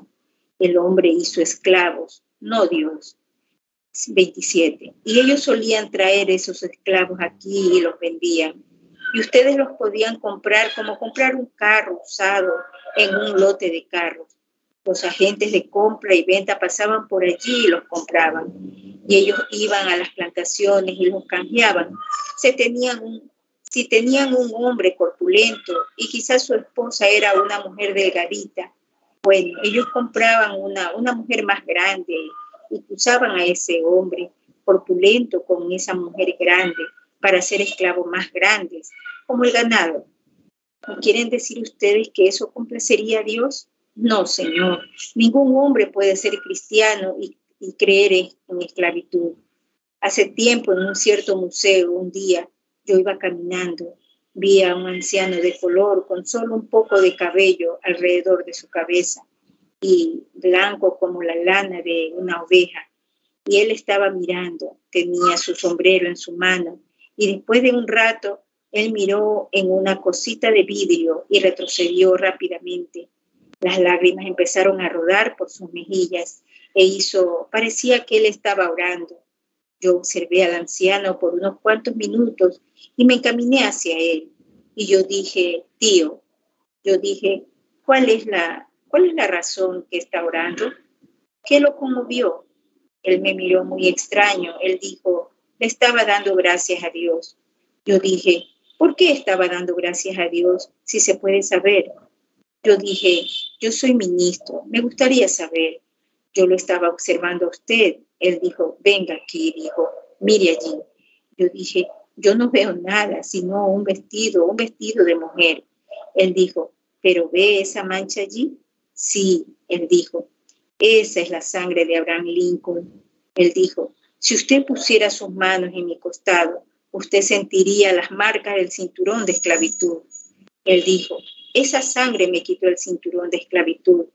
Yo pensé, si un negro se puede sentir de esa manera tocante la sangre de Abraham Lincoln, que le quitó el cinturón de esclavitud, ¿qué debería ser un cristiano cuando él ve la sangre de Jesucristo quien quitó su alma del infierno, su alma de la esclavitud de las cosas del mundo? ¿Por qué regresaríamos a ser esclavos del diablo otra vez? 29. Ellos solían comprar a, esta gente de color con un, obtenían una forma de título igual que ustedes lo obtendrían o una nota de venta. Un día un agente de compra y venta pasó por una cierta plantación y él dijo en esa plantación, él dijo, ¿tienes algunos esclavos en venta?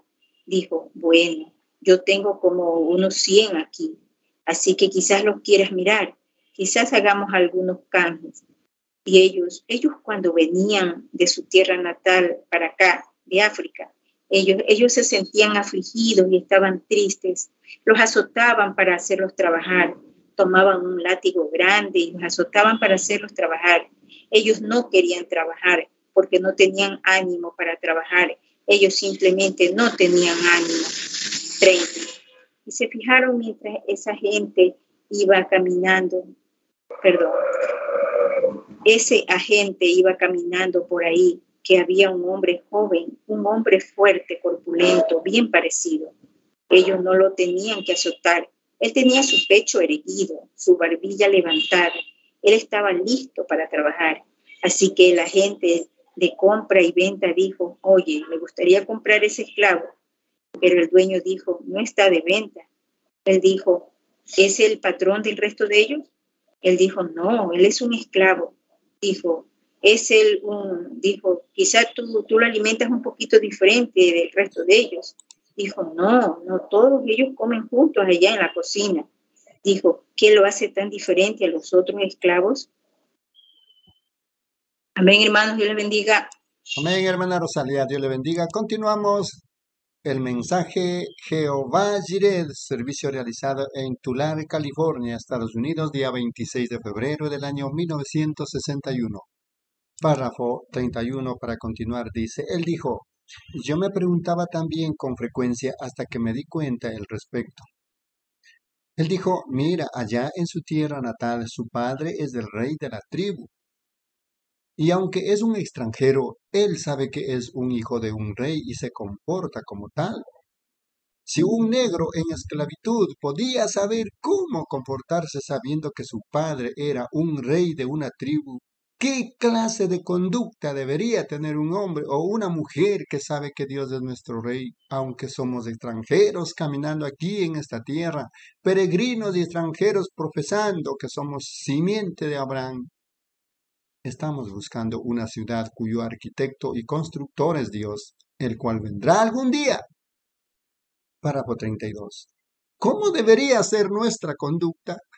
No como la del mundo, sino que deberíamos actuar como hijos e hijas de Dios, comportarnos como hijos del Rey, no como esclavos de modas y esclavos de pasiones y esclavos de orgullo, y nosotros, nosotros deberíamos ser hijos e hijas de Dios y actuar así y comportarnos de esa manera. Que nuestras conversaciones y todo sea sazonado con el Espíritu de Dios. El pacto fue dado a Abraham y a su simiente. Ahora, fíjense, el pacto fue absolutamente y completamente gracia. No hubo, si tú lo haces o si tú no lo haces, o si tú haces esto, yo haré eso. Él dijo, yo ya lo he hecho. No, si tú haces algo. 33. Él hizo un pacto con Adán y él lo rompió. Cada vez que el hombre hace un pacto con Dios, el hombre rompe su pacto.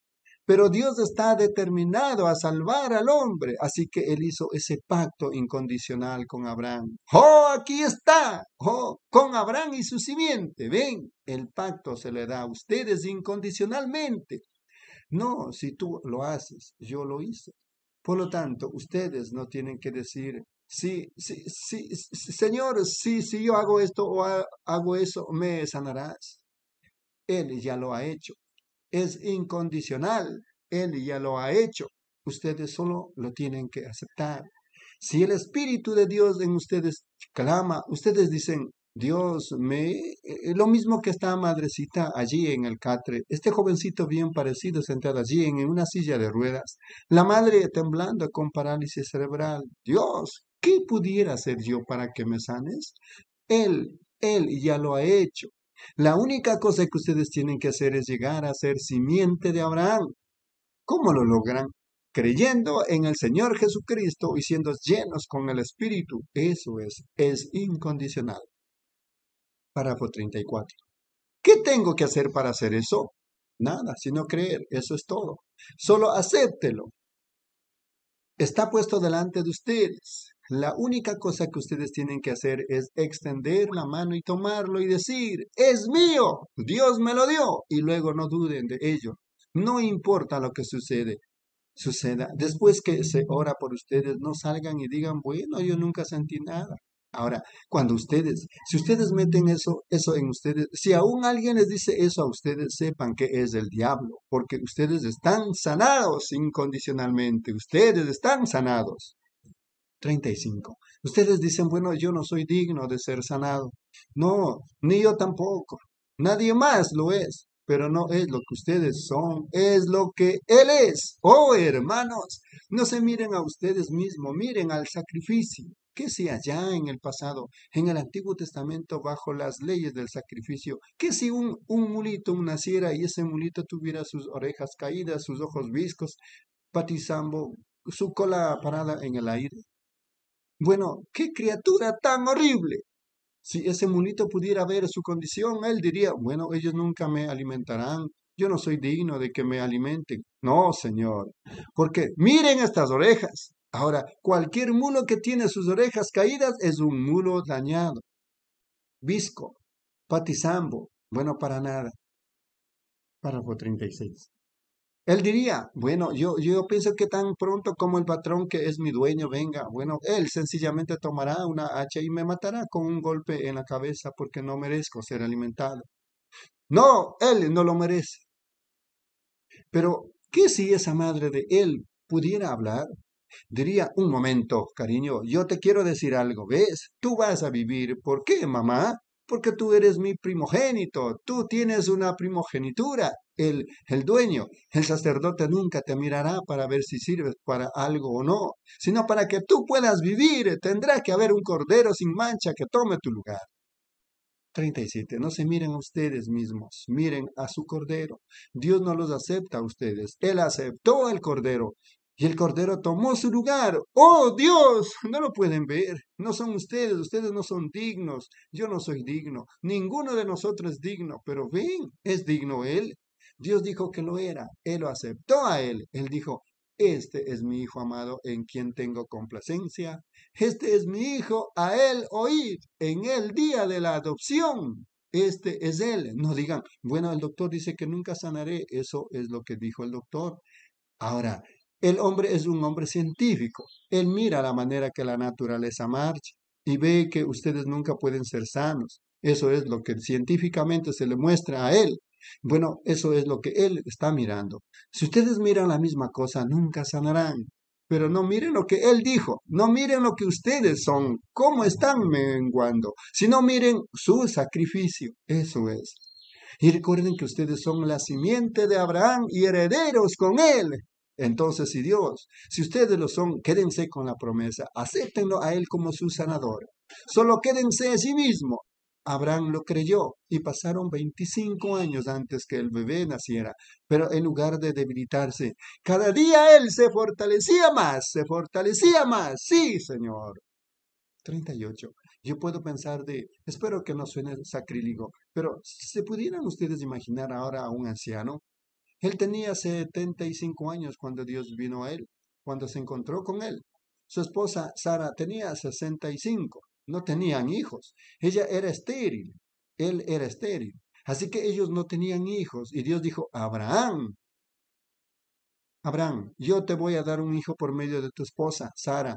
y por medio de esa simiente voy a salvar todas las naciones. Eso será, será él, tú serás el padre de muchas naciones. Ahora, ¿se pudieran ustedes imaginar a un anciano, tan anciano así, yendo al doctor con su esposa de 65 para reservar un cuarto en el hospital para tener el bebé? Párrafo 39. Ustedes saben cuando ustedes toman a Dios. Si ustedes verdaderamente son la simiente de Abraham, las cosas del mundo son necedades para ustedes. Y el mundo, ellos piensan que ustedes son necios porque son, son dos mundos distintos. Allá el otro día, bueno, el verano pasado mi esposa y yo fuimos a la tienda para comprar algunos, algunos comestibles. Yo había llevado a uno de mis campanas y, vi una cosa extraña en mi región. Íbamos a la tienda de comestibles y yo vi a una señora que traía puesta una falda. Yo dije, ¿qué cosa? Es una chapada a la antigua. ¿No le ves? Todo el resto de ella estaba casi desnudas. Yo dije, ella dijo, yo te quiero preguntar algo. Mi esposa dijo, dijo, mira, esa, esa, esa mujer, estas personas cantan en coros ellas van a la iglesia. Ella dijo, ¿qué las hace hacer eso? Párrafo 40 por último. Yo dije, ellas, ellas no son de, ellas no son de esta tierra. Mira, uno va a África y uno encuentra un espíritu africano. Uno va a Suiza y no encuentra un espíritu suizo. Va a Alemania y encuentra un espíritu alemán. Uno viene a América y encuentra un espíritu. Eso está muy lejos de ser el espíritu de Dios. Pero entonces, ¿qué hace?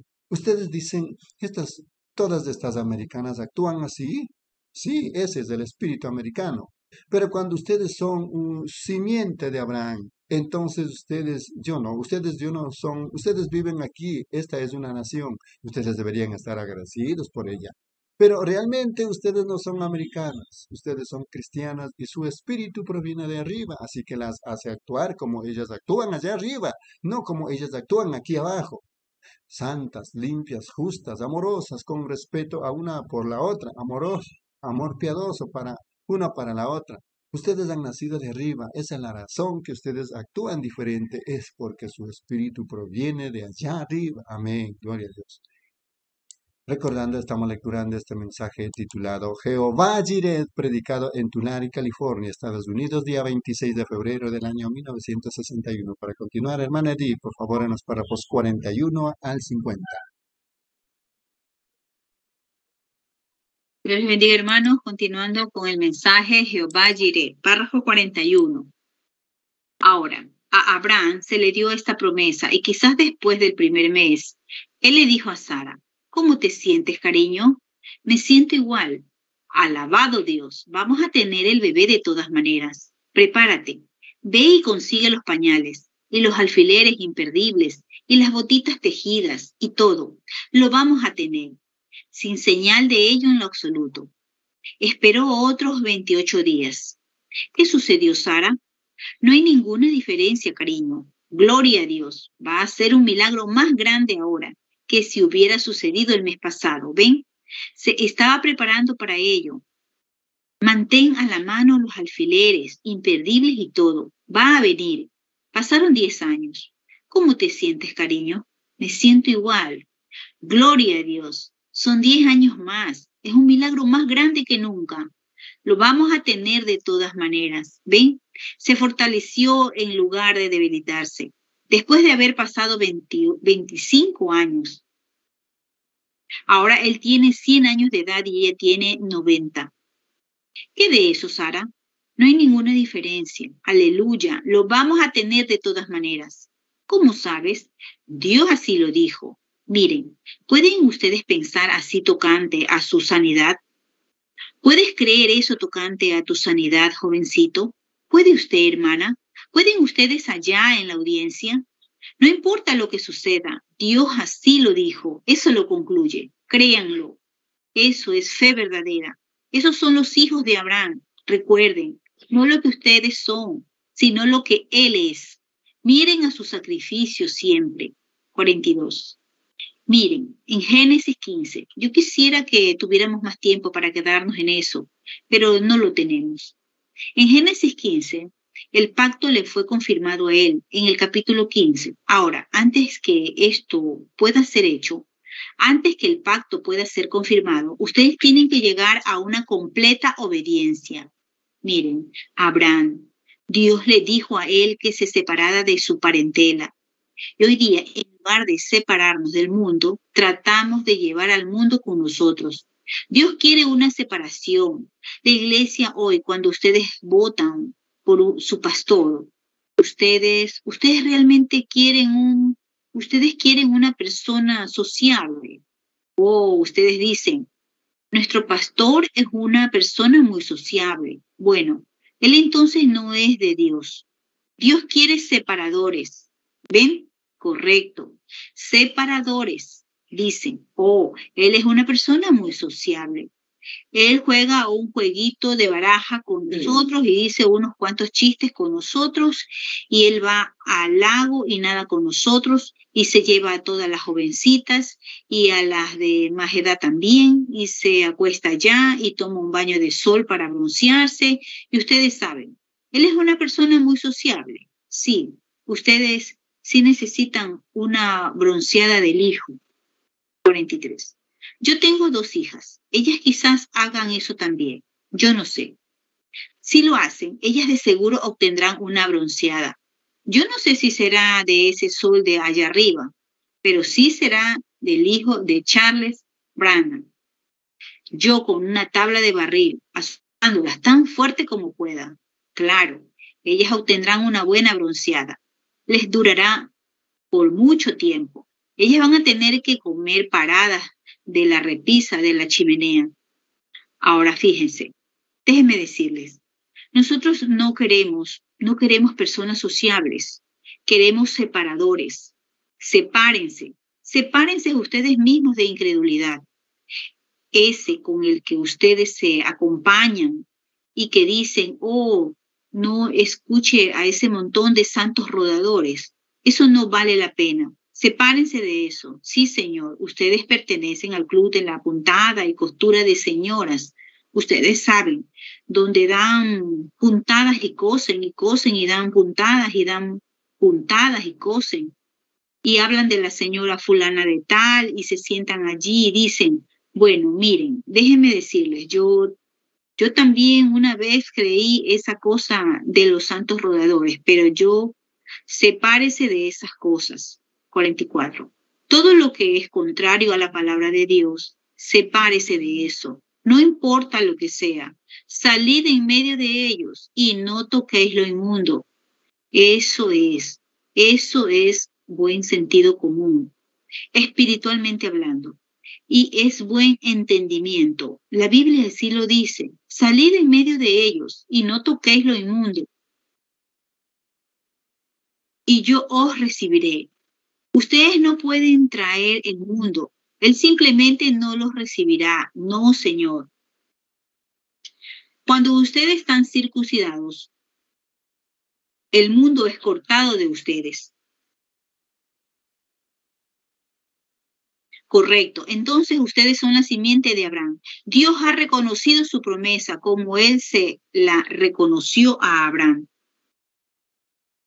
Lo circuncidó, y es la misma cosa cuando Dios reconoce su fe y Él corta el mundo de ustedes y les da el Espíritu Santo y ustedes verdaderamente le creen a Dios entonces en todo lo que Él diga, correcto.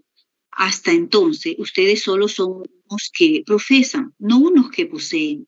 45. Ahora fíjense lo que sucedió. Y Él dijo, ¿en qué conoceré estas cosas? Abraham lo dijo, Ahora, yo quiero que ustedes escuchen muy atentamente, hermanos, por un momento. Él dijo, yo te voy a decir cómo lo voy a hacer. Ahora, el pacto fue hecho incondicionalmente, pero él dijo, yo te voy a mostrar cómo te lo voy a confirmar, te voy a decir cómo yo lo voy a hacer. Y él fue y tomó una becerra de tres años y una, una cabra de tres años y demás, y los partió por la mitad, y tomó una tórtola y un palomino y entonces él esperó hasta que se estaba oscureciendo. Él ahuyentaba todas las aves de ellos. Dios le prometió encontrarse con él. 46. Así que cuando él hizo eso, ahuyentó todas las aves y se empezó a oscurecer. Ahora fíjense en lo que sucedió. Una gran oscuridad cayó sobre Abraham y el sueño lo sobrecogió. Miren, eso es lo que se merece todo ser humano que nace. Ahora observen lo que él, fíjense bien en su pacto ahora, cómo él lo confirmó con Abraham. Esto debería hacer el, al presbiteriano gritar. Ahora él se oscureció y luego hubo oscuridad todo alrededor de él y lo sobrecogió un sueño de muerte, yo diría. Miren, eso es lo que todo hombre hará, morirá. Hombre, mujer, muchacho o niño, la muerte está por delante de ustedes. Pero entonces él se fijó que más allá de eso había un horno humeando a donde todo pecador y todo hombre y toda mujer, muchacho, muchacha, merece ir al infierno. Eso es. Esa fue nuestra caída. Eso fue lo que Adán trajo sobre nosotros, que merecíamos ir al infierno, porque nacimos en pecado, formados en iniquidad, venimos al mundo hablando mentiras. Así que ninguno de nosotros es justo. Así que no podemos depender de nosotros mismos, tenemos que depender en Él. 47. Ser culpable de lo mínimo es ser culpable de todo. Y Él demanda perfección. Así que, ¿cómo pueden ustedes ser perfeccionados? Ustedes no se pueden mirar a ustedes mismos y ser perfeccionados. Pero yo miro a aquel que sí es perfecto, aquel que tomó mi lugar. Él es el perfecto. Y miren, nos fijamos entonces que más allá de eso iba una lucecita blanca. Ella pasó por entre esos sacrificios. Ahora, si tuviéramos tiempo para desmenuzarlo todo, pero no lo tenemos. Pero quiero que ustedes se fijen en lo que él estaba haciendo allí. Ahora, aquí está un pedacito de papel. Yo quiero usar eso por un momento. Ahora, ¿qué es lo que hacemos nosotros americanos cuando hacemos un pacto uno con el otro? Por lo general salimos y lo hablamos. Y algo así. Por ejemplo, yo le diría como al hermano Slater, hermano Slater, yo haré una cierta cosa. Usted hará otra cierta cosa. Sí, sí. Está muy bien. Regresaré la semana que entra. Sí, muy bien. ¿Está de acuerdo? Sí. Entonces estrechamos manos uno con el otro. Dame la mano. Eso es un pacto. Hicimos un acuerdo. 48. Ahora, en Japón, cuando ellos hacen un pacto, ellos se paran y hablan uno con otro. Y si ellos hacen el, escriben el pacto y hacen su acuerdo, y ¿saben ustedes lo que ellos hacen? se arrojan sal uno al otro, ¿ven? Se arrojan sal. La sal es el sabor, ¿ven? Si hay contacto. Así que ellos se arrojan sal uno al otro. Ese es el pacto. Pero en el tiempo de Abraham, de la manera que ellos hacían un pacto, ellos tomaban el pergamino o el pedazo de piel y escribían allí ese pacto. Escribían lo que ellos iban a cumplir. Ese era su acuerdo. Y luego ellos mataban una bestia lo cual era un sacrificio. Ellos mataban la bestia y ellos se paraban en medio de esas dos mitades y en ese pacto hacían un juramento. Lo escribían y luego ellos lo rompían. Uno tomaba una pieza y el otro la otra. Ustedes no lo pueden duplicar. Y ese pacto, cuando era confirmado, cuando se juntaban otra vez, cada mitad de ese papel tenía que encajar perfectamente, uno teniendo una mitad y el otro teniendo la otra. 49. Ahora, ¿qué estaba diciendo Dios? Que por medio de la simiente de Abraham vino Isaac, por medio de Isaac vino Jesús. Y miren el Calvario. Cuando Él estuvo aquí en la tierra, Él era Emmanuel, Dios con nosotros. Pero en el Calvario Dios lo partió. Él lo partió y Él levantó el cuerpo y lo puso a su propia diestra y envió el Espíritu que estaba en el cuerpo de regreso sobre la iglesia para continuar las obras que él hizo allá. Allí está el pacto confirmado. Así que la iglesia que va a ser la novia de Jesucristo será bautizada en ese mismo Espíritu, con las mismas señales, los mismos prodigios. El mismo Espíritu Santo que estaba sobre él estará en la iglesia. Tiene que ser exactamente lo mismo. Así que cuando ese Espíritu descendió, descendió en Pentecostés sobre 120 creyentes y los bautizó en el cuerpo de Cristo. Y el mismo Espíritu Santo que estaba en Cristo estaba sobre la iglesia. Siguió adelante. 50. Todavía un poco y el mundo no me verá más, pero vosotros me veréis, porque estaré con vosotros, aún en vosotros. Las obras que yo hago, ustedes las harán también, aún mayores harán. Porque yo, Padre, ¿ven? El mismo Espíritu llamando a la simiente de Abraham, que por medio de la simiente de Abraham vendría Cristo, a quien él partiría a pedazos y pondría el Espíritu de Dios sobre su iglesia y se llevaría el sacrificio al hogar con él. Amén, hermano. Eso hace que el diablo se mueva. Eso lo pondrá en su lugar. Ustedes dicen, oh, ustedes son un montón de santos. Ustedes no son esto. Ustedes, ustedes hicieron eso. A mí no me importa lo que ustedes hicieron. Es por gracia, por la promesa de Dios por el Espíritu Santo. No es lo que ustedes son, es lo que su sacrificio es. ¿Ven?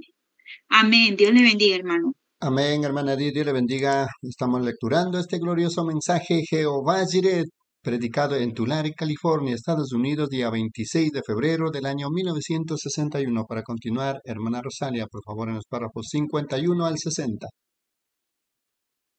Amén, hermanos. Continuando con el mensaje Jehová Jireh. Párrafo 51. Nadie puede venir a mí si el Padre no le trajere. Todo lo que el Padre me ha dado vendrá a mí.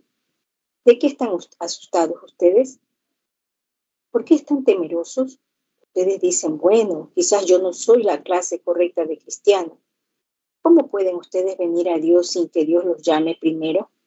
Y a los que antes conoció, Él llamó. ¿Es correcto eso? A todos los que Él llamó, Él ha justificado. ¿Es correcto eso? A todos los que Él justificó, Él ya, tiempo pasado, glorificó. Amén. Es una obra terminada desde la fundación del mundo cristiano. ¿No ven que están viviendo más abajo de su privilegio? Ustedes no saben, no saben quiénes son. 52. Yo he dicho con frecuencia que encuentro dos clases de personas. Una de ellas es la pentecostal y la otra es la fundamental. La fundamental sabe en dónde está parada posicionalmente, pero no tiene fe. La pentecostal tiene la fe, pero no sabe quién es ella. Es igual que un hombre que puede, que tiene dinero en el banco y no puede escribir un cheque. El otro puede escribir un cheque, pero no tiene dinero en el banco. Si alguna vez los pudiera unir, si yo pudiera hacer alguna vez que los pentecostales reconocieran que ellos son hijos e hijas de Dios, y herederos con Abraham. Entonces no hay diablo ni cosa que pueda detener a su pueblo. Dios lo prometió. Si Él no es Dios, apártense de ello. Si Él es Dios, quédense con ello. Amén. Él confirmó el pacto. 53. Allá en Génesis 17, Él fortaleció a Abraham para el milagro.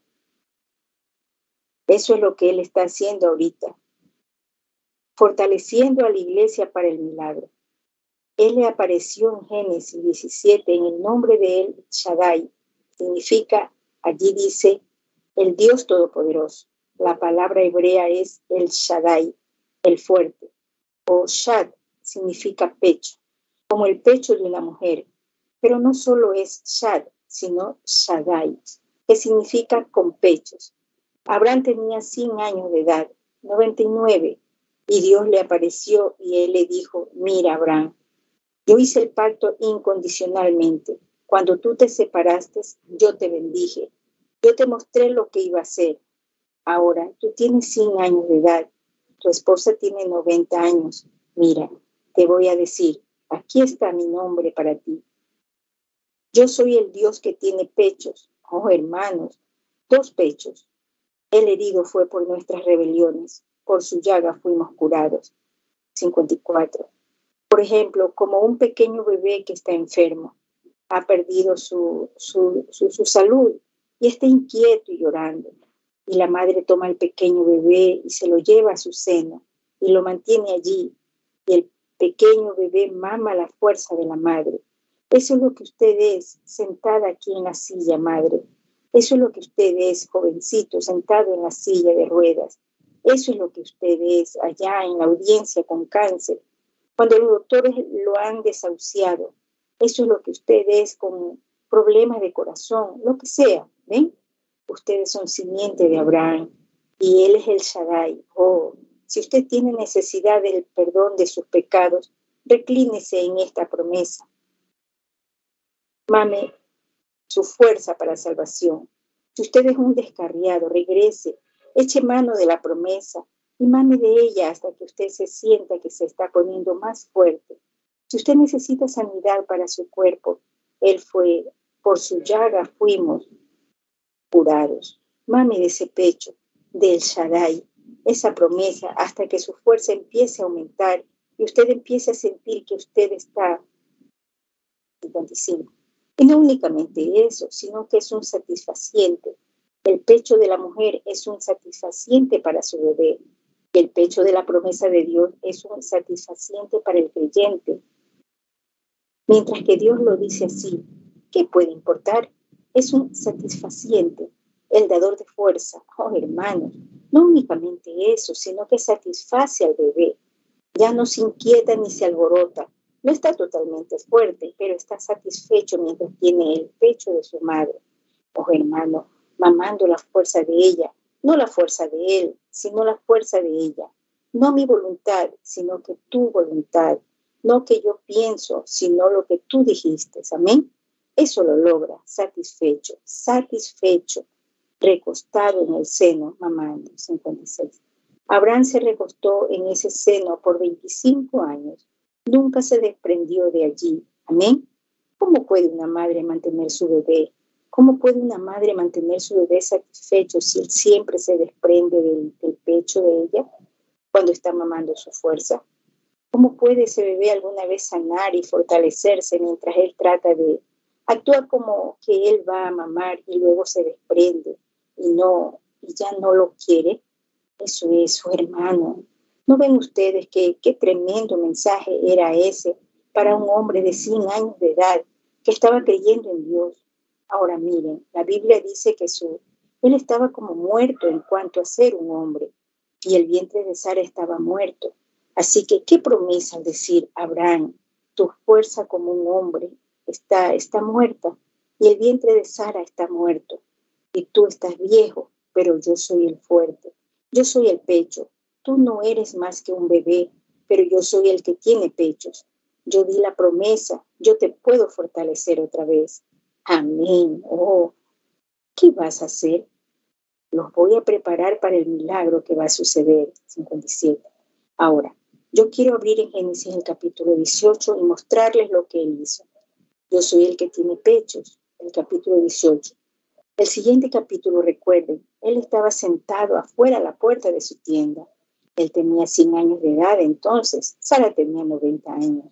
Ahora, mientras él estaba sentado afuera en el calor del día, como a las 11 o, o las 12, las cosas iban mal. Él había escogido el camino con los pocos despreciados del Señor. Ellos probablemente ni siquiera tenían una misión, mucho menos una iglesia con aire acondicionado pero estaban sentados afuera debajo del árbol, no porque él lo tenía que hacer, sino porque él lo quiso hacer. Él era Abraham, él era un hijo de Dios. Él mismo se había separado de las cosas del mundo y él estaba viviendo para Dios. No olvides eso, David. Fíjense, pudiera ser que ustedes no entendieron eso, pero aquel al que le hablé sí lo entendió. Estaba sentado debajo del árbol 58 y él vio tres hombres que venían con polvo sobre sus vestidos. Y fíjense lo que ellos hicieron. Hablamos sobre ello la otra noche. Ellos eran tres ángeles, dos ángeles y Dios mismo. Ellos iban camino a Sodoma, a la iglesia, la iglesia denominacional, allá en, allá en un caos, tibia, descarriada, la que se suponía ser, la que se fue tras las cosas del mundo. Ellos se fueron allá con el mundo, Así que ellos iban a perecer con el mundo. De esa manera la iglesia perecerá hoy día. El mundo que está en la iglesia perecerá con el mundo. Aquellos que viven en pecado perecerán con el pecado. Aquellos que vivan para Dios resucitarán con Dios. Miren, estos ángeles sentados allí, miren, él dijo, Abraham, yo te voy a preparar para algo. Miren, él envió a los otros dos hombres y fueron a Sodoma a predicar la palabra, igual a lo que haría un predicador moderno. Y, pero este que se quedó allá, quiero que ustedes observen sus acciones. Él le dijo a Abraham, él dijo, Abraham, ¿dónde está Sara tu mujer? Dijo, ella está en la tienda detrás de ti, 59. Y dijo, te voy a visitar de acuerdo al tiempo de la vida. Te voy a visitar y te voy a dar ese hijo ahora. Ahora, ¿por qué él mismo se llamó? Yo fui el que te hizo la promesa. Yo soy el que... ¿Cómo pudieran ustedes dudar que ese era Dios? Yo te hice la promesa. Yo soy el que te va a visitar. Yo voy a ser el que te va a dar es el hijo. Yo, pronombre personal, yo, yo fui el que lo dije. Yo te voy a visitar de acuerdo al tiempo de la vida. Y eso fue lo que hizo a Sara reírse. Ella dijo, yo siendo ya vieja y mi señor de 100 años, ¿cómo pudiera ser? Ahora fíjense, yo les quiero decir lo que Él les hizo a ellos. Oh, cómo Él lo preparó para ellos. Él hizo una verdadera preparación. Así que fíjense, Sara se rió y el ángel con su espalda vuelta hacia la tienda dijo, ¿por qué se ha reído Sara?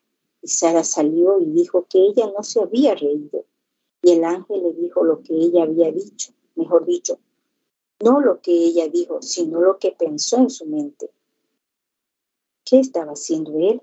Él estaba preparando a Abraham para que creyera, para que creyera en él, para que recibiera su hijo prometido. Párrafo 60. ¿Qué ha hecho Dios? Él lo llamó a ustedes a Pentecostés por gracia. Él les confirmó el pacto, dándoles la circuncisión incondicionalmente. Y ahora, ¿qué está haciendo Él? Él mismo se está mostrando ser el mismo Dios en ustedes. ¿Lo ven ustedes? Él mismo, por medio de conocer los pensamientos de su corazón, preparándolos para su Hijo prometido que viene, Cristo nuestro Salvador. Él los está preparando para el Hijo prometido. Él estaba preparando a Abraham para su Hijo prometido. Ahora Él está preparando a la simiente de Abraham para el Hijo prometido que estamos esperando. Oh, ¿no será glorioso verlo a Él? Amén, hermanos. Dios le bendiga. Amén, hermana Rosalía, Dios le bendiga. Recordando, estamos lecturando este glorioso mensaje titulado Jehová Jiret, predicado en Tulare, California, Estados Unidos, día 26 de febrero del año 1961. Para continuar, hermana Erika, Dios le bendiga, párrafo 61 al 70. Dios le bendiga, hermanos y hermanas. Vamos a continuar con el mensaje Jehová Jiret del año 610226, párrafo 61. ¿Qué hizo él? Recuerden, ¿qué fue inmediatamente después de eso? Inmediatamente después de esa visitación que el hijo llegó, Sodoma fue quemada. ¿Es eso correcto, lectores de la Biblia? Correcto. El hijo llegó al cual Abraham había esperado. Según la promesa, la iglesia ahora, la simiente de Abraham, está esperando la venida del Hijo de Dios. Y ahora, ¿qué ha hecho él? Él los ha posado por cada uno de esos elementos, igual que lo hizo con Abraham para la confirmación del pacto. Les dio el Espíritu Santo, hablando en lenguas como el Espíritu. Les daba que hablaran todas esas diferentes cosas como él prometió. Y ahora los trajo hasta aquí y envió su Espíritu entre ustedes, dándoles discernimiento divino justo antes para prepararlos a ustedes para el, el Hijo que viene. Amén es la última señal que la iglesia recibirá. 62. Yo estaba hablando con el hermano Shakarian esta mañana, me llamó. Él acaba de estar en Washington y como todos están en alerta allí, no saben qué hacer. En cualquier momento un hombre pudiera oprimir una cosa que enviaría al mundo a una destrucción. Cada, cada molécula de oxígeno e hidrógeno se dividiría los mares se secarían, todo lo demás. No quedaría nada en la tierra sino carbón. Pero antes que suceda eso, la iglesia se iba al hogar. Antes que una pizca de lluvia cayera, Noé ya estaba en el arca, Lot estaba fuera de Sodoma, antes que él quemara la ciudad.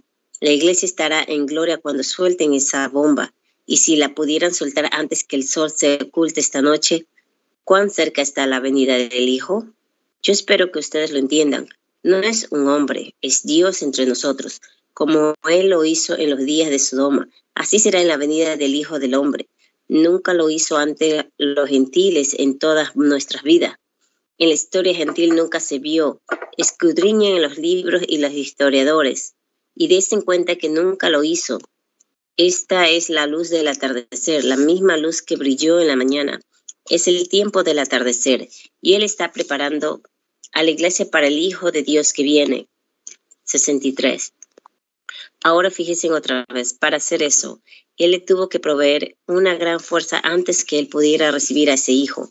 Ahora ustedes me van a tener que creer en esto, o mejor dicho, si quieren, me voy a salir del tema solo un momento. La Biblia es una carta de amor. Y ustedes saben que la mujer más dulce en todo el mundo para mí es la señora Branham. Ella es mi amada. Yo la amo, en verdad la amo. Miren, no hay, no hay legalismo entre nosotros. Nosotros absolutamente creemos en, nosotros, nosotros creemos en la gracia, creemos en amor. 64. Ahora, cuando me preparo para ir a ultramar, yo no extiendo la mano y la agarro y le digo, mi querida señora Branja, no tendrás otro marido, no le das ojito o ningún otro hombre. Ella no me, haga, ella no me agarra del, del cuello y me dice, y mi amado hermano Branja, no tendrás otras esposas. ¿Sería eso un hogar? ¿De esa manera ustedes quieren tratar a la iglesia? No, no hacemos eso. Yo amo. Mientras la ame, me quedaré verdadero a ella. Mientras ella me ame, será de la misma manera. No nos preocupamos de eso. No. Entonces nos arrodillamos, oramos. Ella le pide a Dios que me ayude. Ella se queda en casa y cuida de los bebés. Yo salgo a trabajar para el Señor. Yo no he estado en casa sino un poquitito, en 15 años. Su cabello se le ha vuelto blanco como la nieve. Siendo una mujer joven, quedándose en casa, enfrentando al público, tratando de hacer sus partes, mi esposa es una mujer verdaderamente encantadora. 65. Pero miren, digamos por ejemplo, que si yo estuviera en ultramar y me sintiera muy solo y una mujer, una mujer joven dijera, hermana Branja, ¿me quisiera llevar a pasear esta noche después de la iglesia? yo dijera, me siento muy solo, creo que lo haré. Bueno, luego cuando regresara a casa le tendría que decir a ella. Ahora, yo creo que ella me perdonaría por eso, si lo creo. Creo que ella me perdonaría por eso, por ello. Pero hermano, yo primero moriría antes de hacerlo. porque Yo la amo mucho, yo la amo. O eso me mataría. Yo no la podría mirar a los ojos con eso. Y si yo amo a mi esposa tanto así, ¿qué de mi Señor? Pablo dijo, todas las cosas me son lícitas, mas no todas convienen. ¿Ven? 66. Ella me escribe, me dice, querido Billy, estoy sentada aquí esta noche. Acabo de acostar a los niños, la veo hoy, hice esto y eso. El teléfono ha sonado más de 300 veces, la gente me está preguntando, ¿en dónde estás? Estoy pensando mucho de ti. Eso es lo que ella está escribiendo, pero ustedes saben, yo puedo leer entre líneas y saber lo que ella me quiere decir, porque la amo. De esa manera ustedes saben lo que este libro de amor de Dios quiere decir. La razón que es tan complicado para la gente es que no está enamorado de Cristo. Ustedes dicen que, que se contradice y todo eso. Ustedes simplemente no están enamorados del autor. Eso es todo. Es una carta de amor. 67. Fíjense bien lo que él le hizo a Abraham y lo prometió a su simiente justo antes de la venida del Hijo. La siguiente cosa que sucede. ¿Saben ustedes lo que él le hizo a Abraham y a Sara? Él los regresó a ser un hombre y una mujer joven. O oh, ustedes dicen, mire hermano Branja, eso es ridículo. Muy bien, démonos cuenta, miren, ustedes se fijan que Inmediatamente después que el ángel la encontró, que los encontró a ellos allí, ellos tomaron un viaje largo de como unas 300 millas, unos 480 kilómetros a, Gerar. Eran unas personas bastante ancianas como para viajar 300 millas. ¿No pensaría ustedes? Y fíjense, miren, Sara tenía 20 años de edad, una abuelita con una pequeña gorrita puesta, un pequeño chal sobre sus hombres y una vara en su mano. Ahí va Abraham, con una barba grande y larga colgándole, y con sus hombres caídos, caminando ahí Oh, ustedes dicen, mire, espera un momento, hermano Branham, ellos vivían. Oh, no, no, no, no. La Biblia dice que ellos eran de edad avanzada, ambos, 68, y fueron allá a Gerar. Ahora yo les quiero mostrar a ustedes cuán necio sería creerlo de la manera que la gente lo cree. Y cuando ellos llegaron allá, Abimelech era un rey allá en el país filisteo y él estaba buscando una novia entre todas esas muchachas filisteas bonitas. Pero cuando él vio a la, a la abuela que venía, él dijo, esa es la que yo he esperado, esa es ella, me enamoré de ella. Ahora, nieguenlo, él sí se enamoró de Sara. ¿Y es correcto eso? La congregación dice amén. Sí, perdón. Y la quiso tomar como su esposa, una abuela de 100 años de edad. No, no, hermano, no, no fue eso. Ella era una hermosa mujer joven. Él la regresó a ser una mujer joven y Abraham a un hombre joven.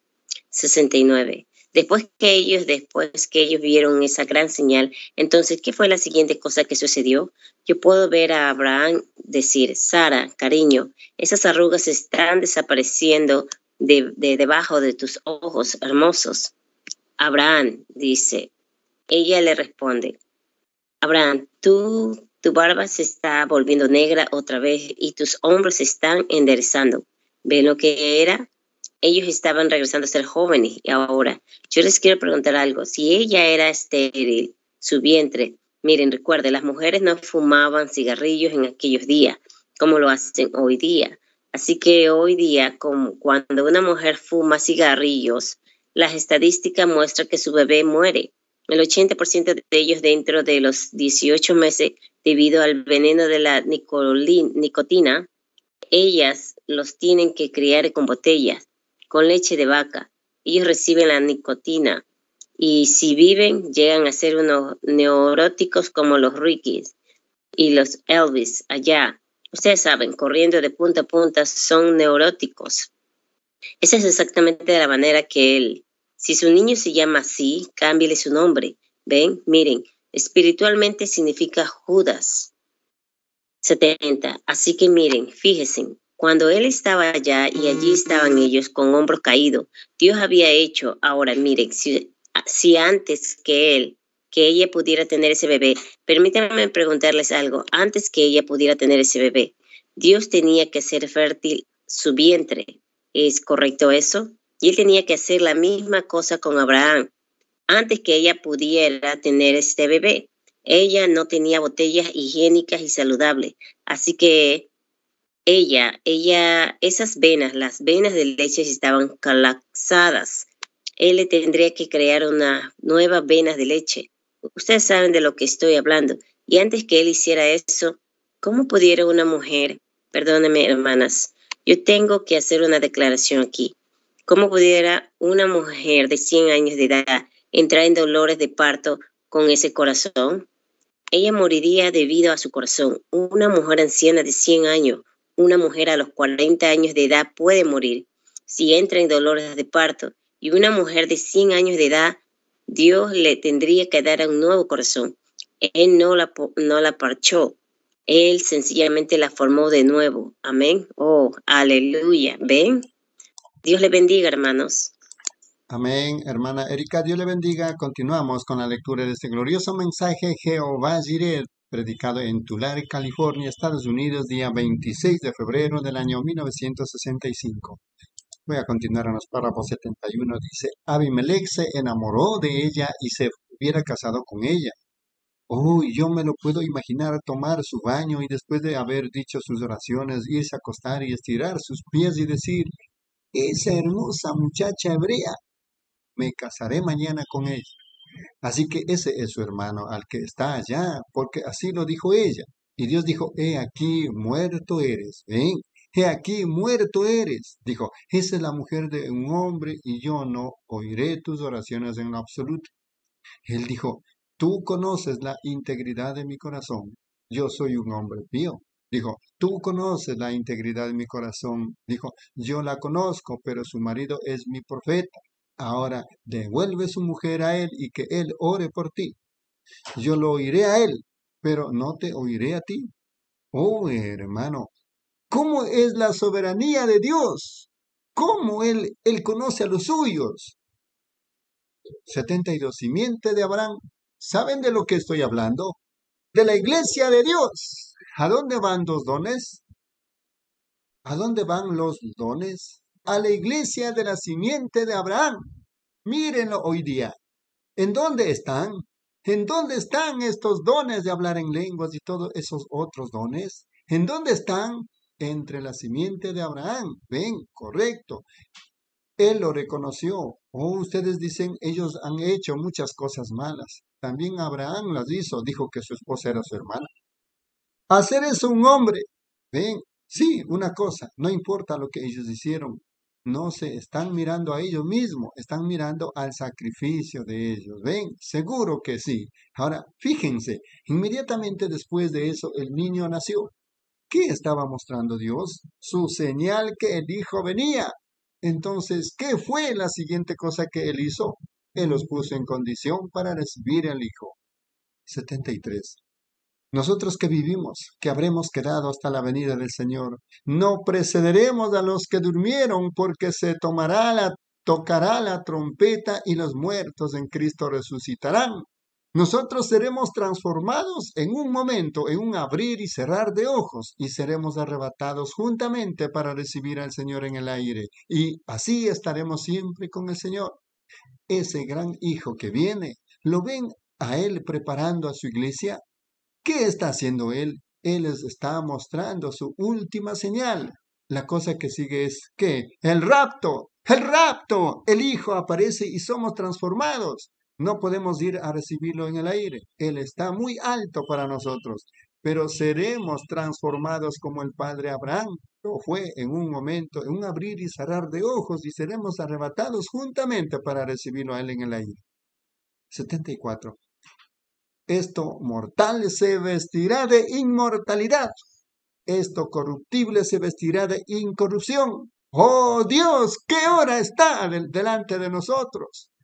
¿Cómo la simiente de Abraham debería estar contenta? Oh, ¿a dónde se va el tiempo?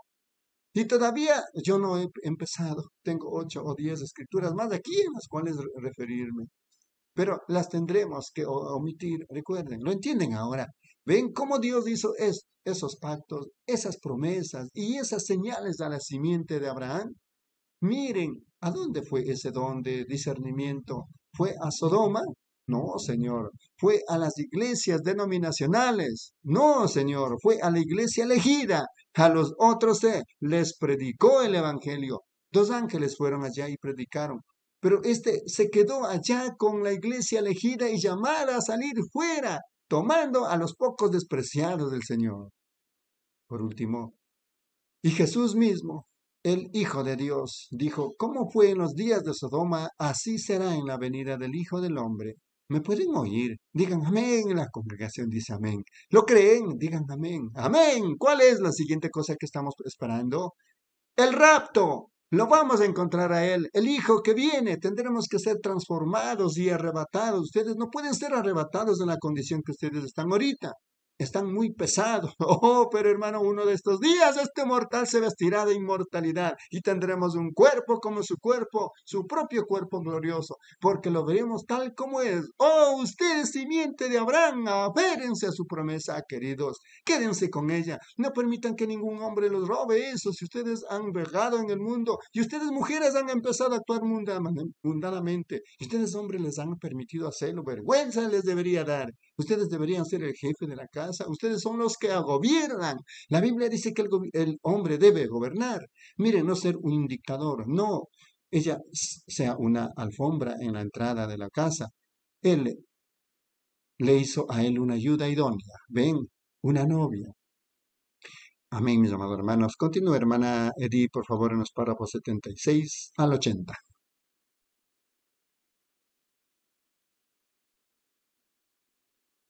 Dios le bendiga, hermanos. Continuando con el mensaje, Jehová iré. Párrafo 76. Y como estas cosas, ¿cómo lo pueden ustedes hacer? Regresen. ¿No regresarán? ¿No me prometerán hoy que regresarán a Dios? Yo me tengo que encontrar con ustedes algún día. Yo tengo que estar allá. Yo espero que Él me dejará entrar en aquel día. Yo, yo le estoy tratando de servir a Él con todo mi corazón. Yo no los quiero lastimar. Bueno, la ofrenda que ustedes me dieron hoy ayudará a alimentar a mis hijos. Eso hará cosas para mí, por mí. ¿Cómo lo pudiera lastimar? Yo, yo sería un hipócrita de lo más bajo para hacer eso. Pero oigan, mi, oigan, mi predicación en la cual les estoy diciendo a ustedes de esas cosas, ven, oigan la palabra del Señor, regresen a Dios rápidamente, amadas, regresen corriendo rápidamente. Digan, Señor, yo, yo, yo he vagado muy lejos de ti. Yo regreso a casa ahora, Señor. Yo, yo voy a renunciar a todo. Yo, yo quiero ser una hija del rey. Yo quiero ser el hijo de un rey. Yo me quiero parar irreprensible. A mí no me importa lo que el resto de ellos diga. 77. Es un asunto individual. Él no va a tomar, él no va a tomar únicamente a los de la cuadrangular o él no va a tomar únicamente a los de las asambleas o únicamente a los de las unitarias o los de las dualitarias o a los de las trinitarias o a los de las demás. Él va a tomar a cada una de ellas a los de corazón verdadero, ¿ven?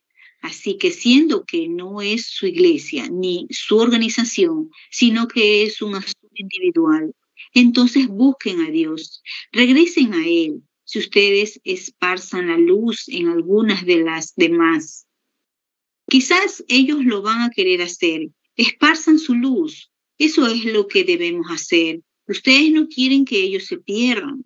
Si ustedes quieren que se pierdan, hay algo mal en el corazón. Jesús murió para que nosotros, su enemigo, pudiera ser salvo. Seguro que sí. 78. Ahora, terminaremos ahora antes que, fíjense bien, inmediatamente después que ese muchachito tuvo 12 años de edad, ahora vamos, vamos a terminar y a empezar la fila de oración. Solo escuchen esto ahora muy atentamente. Cuando ese muchachito llegó a tener como unos 12 años de edad, Dios dijo, yo les voy a mostrar allá en Visalia que verdaderamente cumplo mi promesa, porque yo juré por mí mismo que la cumpliría. Él le juró no únicamente a Abraham, sino a la simiente de Abraham después de él. Él le juró a ustedes, igual que él le juró a Abraham, mostrando el pacto. Así que es a Abraham y a su simiente. 79. Él dijo, yo les voy a mostrar a ellos que quiero que se aferren a mi palabra. Un día yo tendré un siervo llamado William Branham. Él estará predicando allá. Habrá un grupo de enfermos delante de él y yo será justo en el tiempo del fin. Así que yo les voy a estar haciendo esa clase de señales. Así que yo les quiero mostrar que se aferren a la palabra, porque si no fuera la palabra, yo no la estaría confirmando, pero yo ya los he sanado y ellos tienen que hacer algo. Yo no la puedo tomar y derramarla dentro de ellos. Ellos la tienen que venir a tomar por sí mismos. Ahora, ¿oyen eso todos ustedes? Miren, él dijo Abraham, para hacerlo doblemente seguro, yo quiero que lleves a ese muchacho allá arriba de un monte que yo te diré y quiero que lo ofrezcas en holocaustos allá arriba. Yo te voy a hacer un padre de naciones por medio de él. Por medio de la simiente de él, yo voy a levantar esa simiente eterna. Y yo, yo te voy a hacer un padre de naciones. Pero llévalo allá arriba del monte y ofrécelo en holocausto. 80. ¿Cómo va Él ya tenía como unos 115 años de edad para entonces. ¿Cómo va él a llevar a su hijo arriba del monte y ofrecerlo en holocausto? y destruir la única esperanza que él tenía. Pero ahora yo quiero que se fijen, él llevó a un siervo. Él no le podía decir a la mamá, eso hubiera sido muy cruel al decirle a esa hermosa madrecita que él iba a llevar a ese muchacho allá y que lo iba a ofrecer en holocausto. Así que él solo cortó algo de leña y la puso dentro del costal y la puso en el lomo de la mula. Y él tomó dos siervos y se fue en un viaje de tres días. Ahora la gente no tenía pies de gasolina en aquellos días. Ellos podían caminar. Cuando yo patrullaba, yo caminaba 30 millas, 48 kilómetros al día, y lo hice por siete años. Y yo, eso no es una larga caminata. Cualquier hombre saludable pudiera caminar. Cuando menos un joven como él lo era entonces, digamos unos 25 millas, 40 kilómetros al día. Así que eso era 75 millas, 120 kilómetros, alejado de la civilización. Amén. Dios le bendiga, hermanos. Dios le bendiga la lectura. Continuamos con la lectura de este glorioso mensaje Jehová Jireh, predicado en Tulare, California, Estados Unidos, día 26 de febrero del año 1961. Hermana Rosalia, por favor, nos queda tiempito. Párrafo 81 al 85. Amén, hermanos. Continuando con el mensaje de Jehová Jireh, párrafo 81.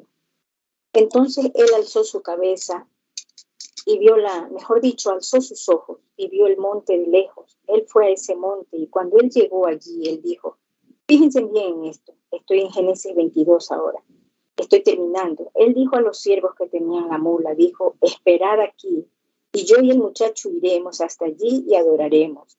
El muchacho y yo volveremos. ¿Cómo? ¿Cómo va a regresar él? Tú lo vas a llevar allá arriba para ofrecerlo en holocausto. Abraham, después cuando el comentario divino se escribió de él, él no dudó de las promesas de Dios. No, no. Él sabía que él lo había recibido como uno de entre los muertos. Él estaba casi listo para morir. Tenía 100 años de edad y él sabía que Dios es poderoso para levantarlo aún de entre los muertos. 82. Y él dijo, el muchacho y yo volveremos.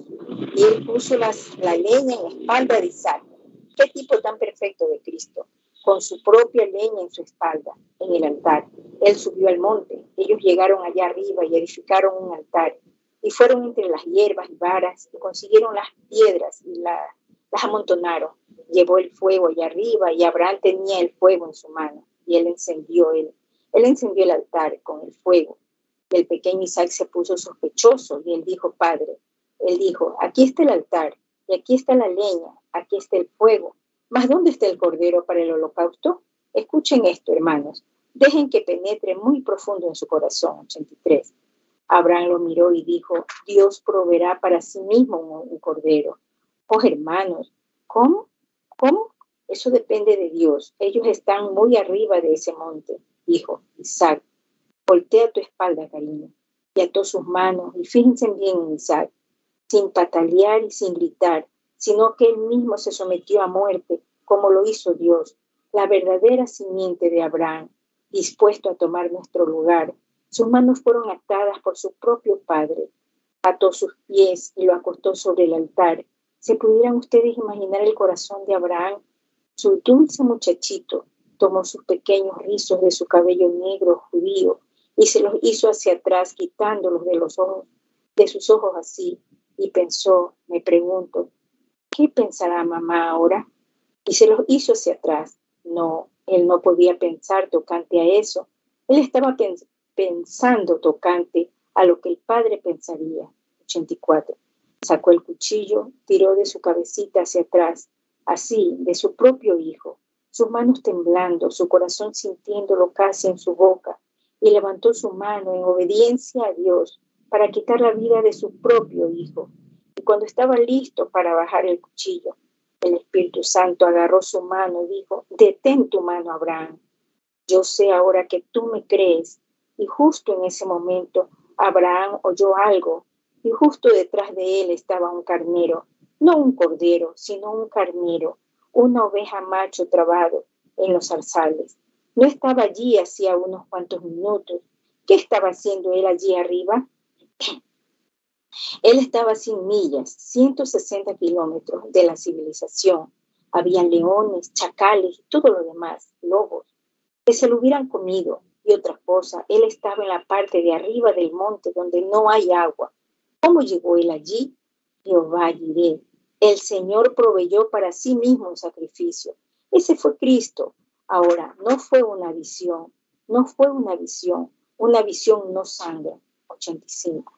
Abraham tomó el carnero, lo puso sobre el altar, cortó su garganta y la sangre corrió de él en lugar de la de su hijo. No, fue una visión, fue un carnero. ¿Por qué? Él es capaz de crear, Él puede proveer para sí mismo un sacrificio. ¿Cómo vas a sanar, hijo? Tú estás más allá de la ayuda del doctor. ¿Cómo va a sanar usted sentada allí, madrecita, temblando de esa manera? ¿Cómo vas a sanar allá, hijo, acostado allí, paralizado? ¿Cómo va a sanar usted sentado acá? ¿Cómo lo va a hacer usted? Eso no es para que ustedes piensen al respecto. Él es Jehová Jireh. Pero aparte de eso, Él ya ha provisto un cordero para su. Ya lo proveyó. Jesús es provisto. Y Él ya ha hecho la sanidad. La única cosa que tienen que hacer ustedes es aceptarlo, creerlo. Harán eso, ojo, hermanos. Amén, hermanos. Dios le bendiga. Amén, hermana Rosalia. Dios le bendiga. Continuamos. Tenemos un tiempito más. Hermana Erika, por favor, en los párrafos 86 al 90, por favor. Dios le bendiga, hermanos y hermanas. Vamos a continuar con el mensaje Jehová Jireh, párrafo 86. Inclinamos nuestros rostros por un momento, mientras nos aquietamos delante de Dios. Yo quiero que ustedes oren. ¿Cuántos aquí quieren aceptar ese sacrificio provisto de Dios? Levante sus manos. Dios los bendiga, Dios los bendiga oh hermanos, por todo el edificio, nuestro Padre Celestial. Ellos creen la palabra. ¿Cómo? Porque levantaron su mano, porque ellos saben que tú cumples tu palabra. Ellos no pudieran haber hecho eso a menos que tú les hubiera dicho que lo hicieran. Y ellos fueron obedientes igual que Isaac lo fue, listos para morir a su propia aflicción, listos para morir de lo que un doctor pudiera haber dicho o cualquier cosa. Ellos son los hijos de Abraham, ellos creen, ellos han nacido de nuevo, ellos son, ellos, ellos han sido bautizados con el Espíritu Santo también, ellos te creen. Los pecadores levantaron sus manos porque ellos quieren ser tus hijos también. Recíbelo, Señor, son tuyos. 87. Toda esta semana, Señor, son cinco sermones seguidos cortando hasta llegar a esta hora aquí. Hemos llegado algo debe suceder, Señor. Tu palabra ha salido, tus señales han salido, tú has confirmado tu palabra. Ahora depende de la gente, Señor. Cuando ellos pasen por esta fila para que se ore por ellos, que ellos tengan fe, que ellos se bajen de esta plataforma alabando a Dios. Si sucede, gracias Dios. Si no sucede, va a suceder de todas maneras. Tú así lo dijiste, tú eres el Hijo que, perdón, tú eres el Dios que hizo la promesa y estás, eh, y estás en el edificio hoy. Concédelo, Padre. Te lo, pido, te lo pido en el nombre de, de Jesús. Concédelo a cada uno de estos para tu gloria. Que sea así, Señor. Amén. Muy bien, tenemos como unas 300 o 400 personas por las cuales vamos a orar. ¿Cuántos creen que las últimas palabras que salieron de la boca de Jesús, cuando él dijo la tierra, él dejó la tierra, las últimas palabras que él dijo, él dijo esto, estas señales seguirán a los que creen. Sobre los enfermos pondrán sus manos y sanarán. Lo dijo él. La congregación dice, amén. Miren, él prometió eso. 88. Hay algunos desconocidos aquí que nunca han estado en una de las reuniones. Levanten sus manos. Que nunca han estado antes en una de ellas. Levante su mano. Hay bastantes. Ustedes me pudieran decir entonces, hermano Branham, usted nos habló de un ángel que estaría aquí en los postreros días, que habitaría en carne humana y sería Dios habitando en carne humana. Yo no sé nada tocante a esas cosas, pero usted dijo que estaría. Yo nunca lo he visto a él hacer eso, como lo que hizo allá, para mostrar que estamos en Sodoma. ¿Cuántos enfermos hay allá en la audiencia que no me conocen, levante sus manos, que tengan una necesidad, levante su mano. A mí no me importa en dónde estén ustedes, sean muy reverentes. 89. Antes que llamemos la fila de oración, en la fila de oración no tendremos discernimiento, porque no podemos con 300 o 400 que van a pasar por aquí. Yo voy a orar por ellos, pero sin discernimiento. Tendremos la fila de discernimiento ahorita. Para ustedes que están en la audiencia, yo no conozco una sola alma en la, en la audiencia. Tengo aquí un hermano llamado Fred Saltman. Tengo otro llamado hermano Tom. tengo otro hermano Iván. Ellos están allá en la audiencia en algunas partes. ¿Dónde están? ¿Están ustedes en el servicio hoy, hermanos? ¿Dónde? Muy atrás, sí. Muy bien. Muy atrás. Esos son todos los que yo conozco. 90. ¿Cuántos de ustedes, hombres allá atrás, ustedes ministros, nunca han tenido una oportunidad para esto? Yo no los conozco. Yo, yo los conocía ya, pero eso, yo no sé nada en tocante a ustedes, tocante a las enfermedades o a nada.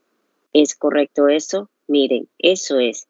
Dicen, hermano Branja, ¿no esa es una cosa algo intrépida? Sí, pero él lo prometió.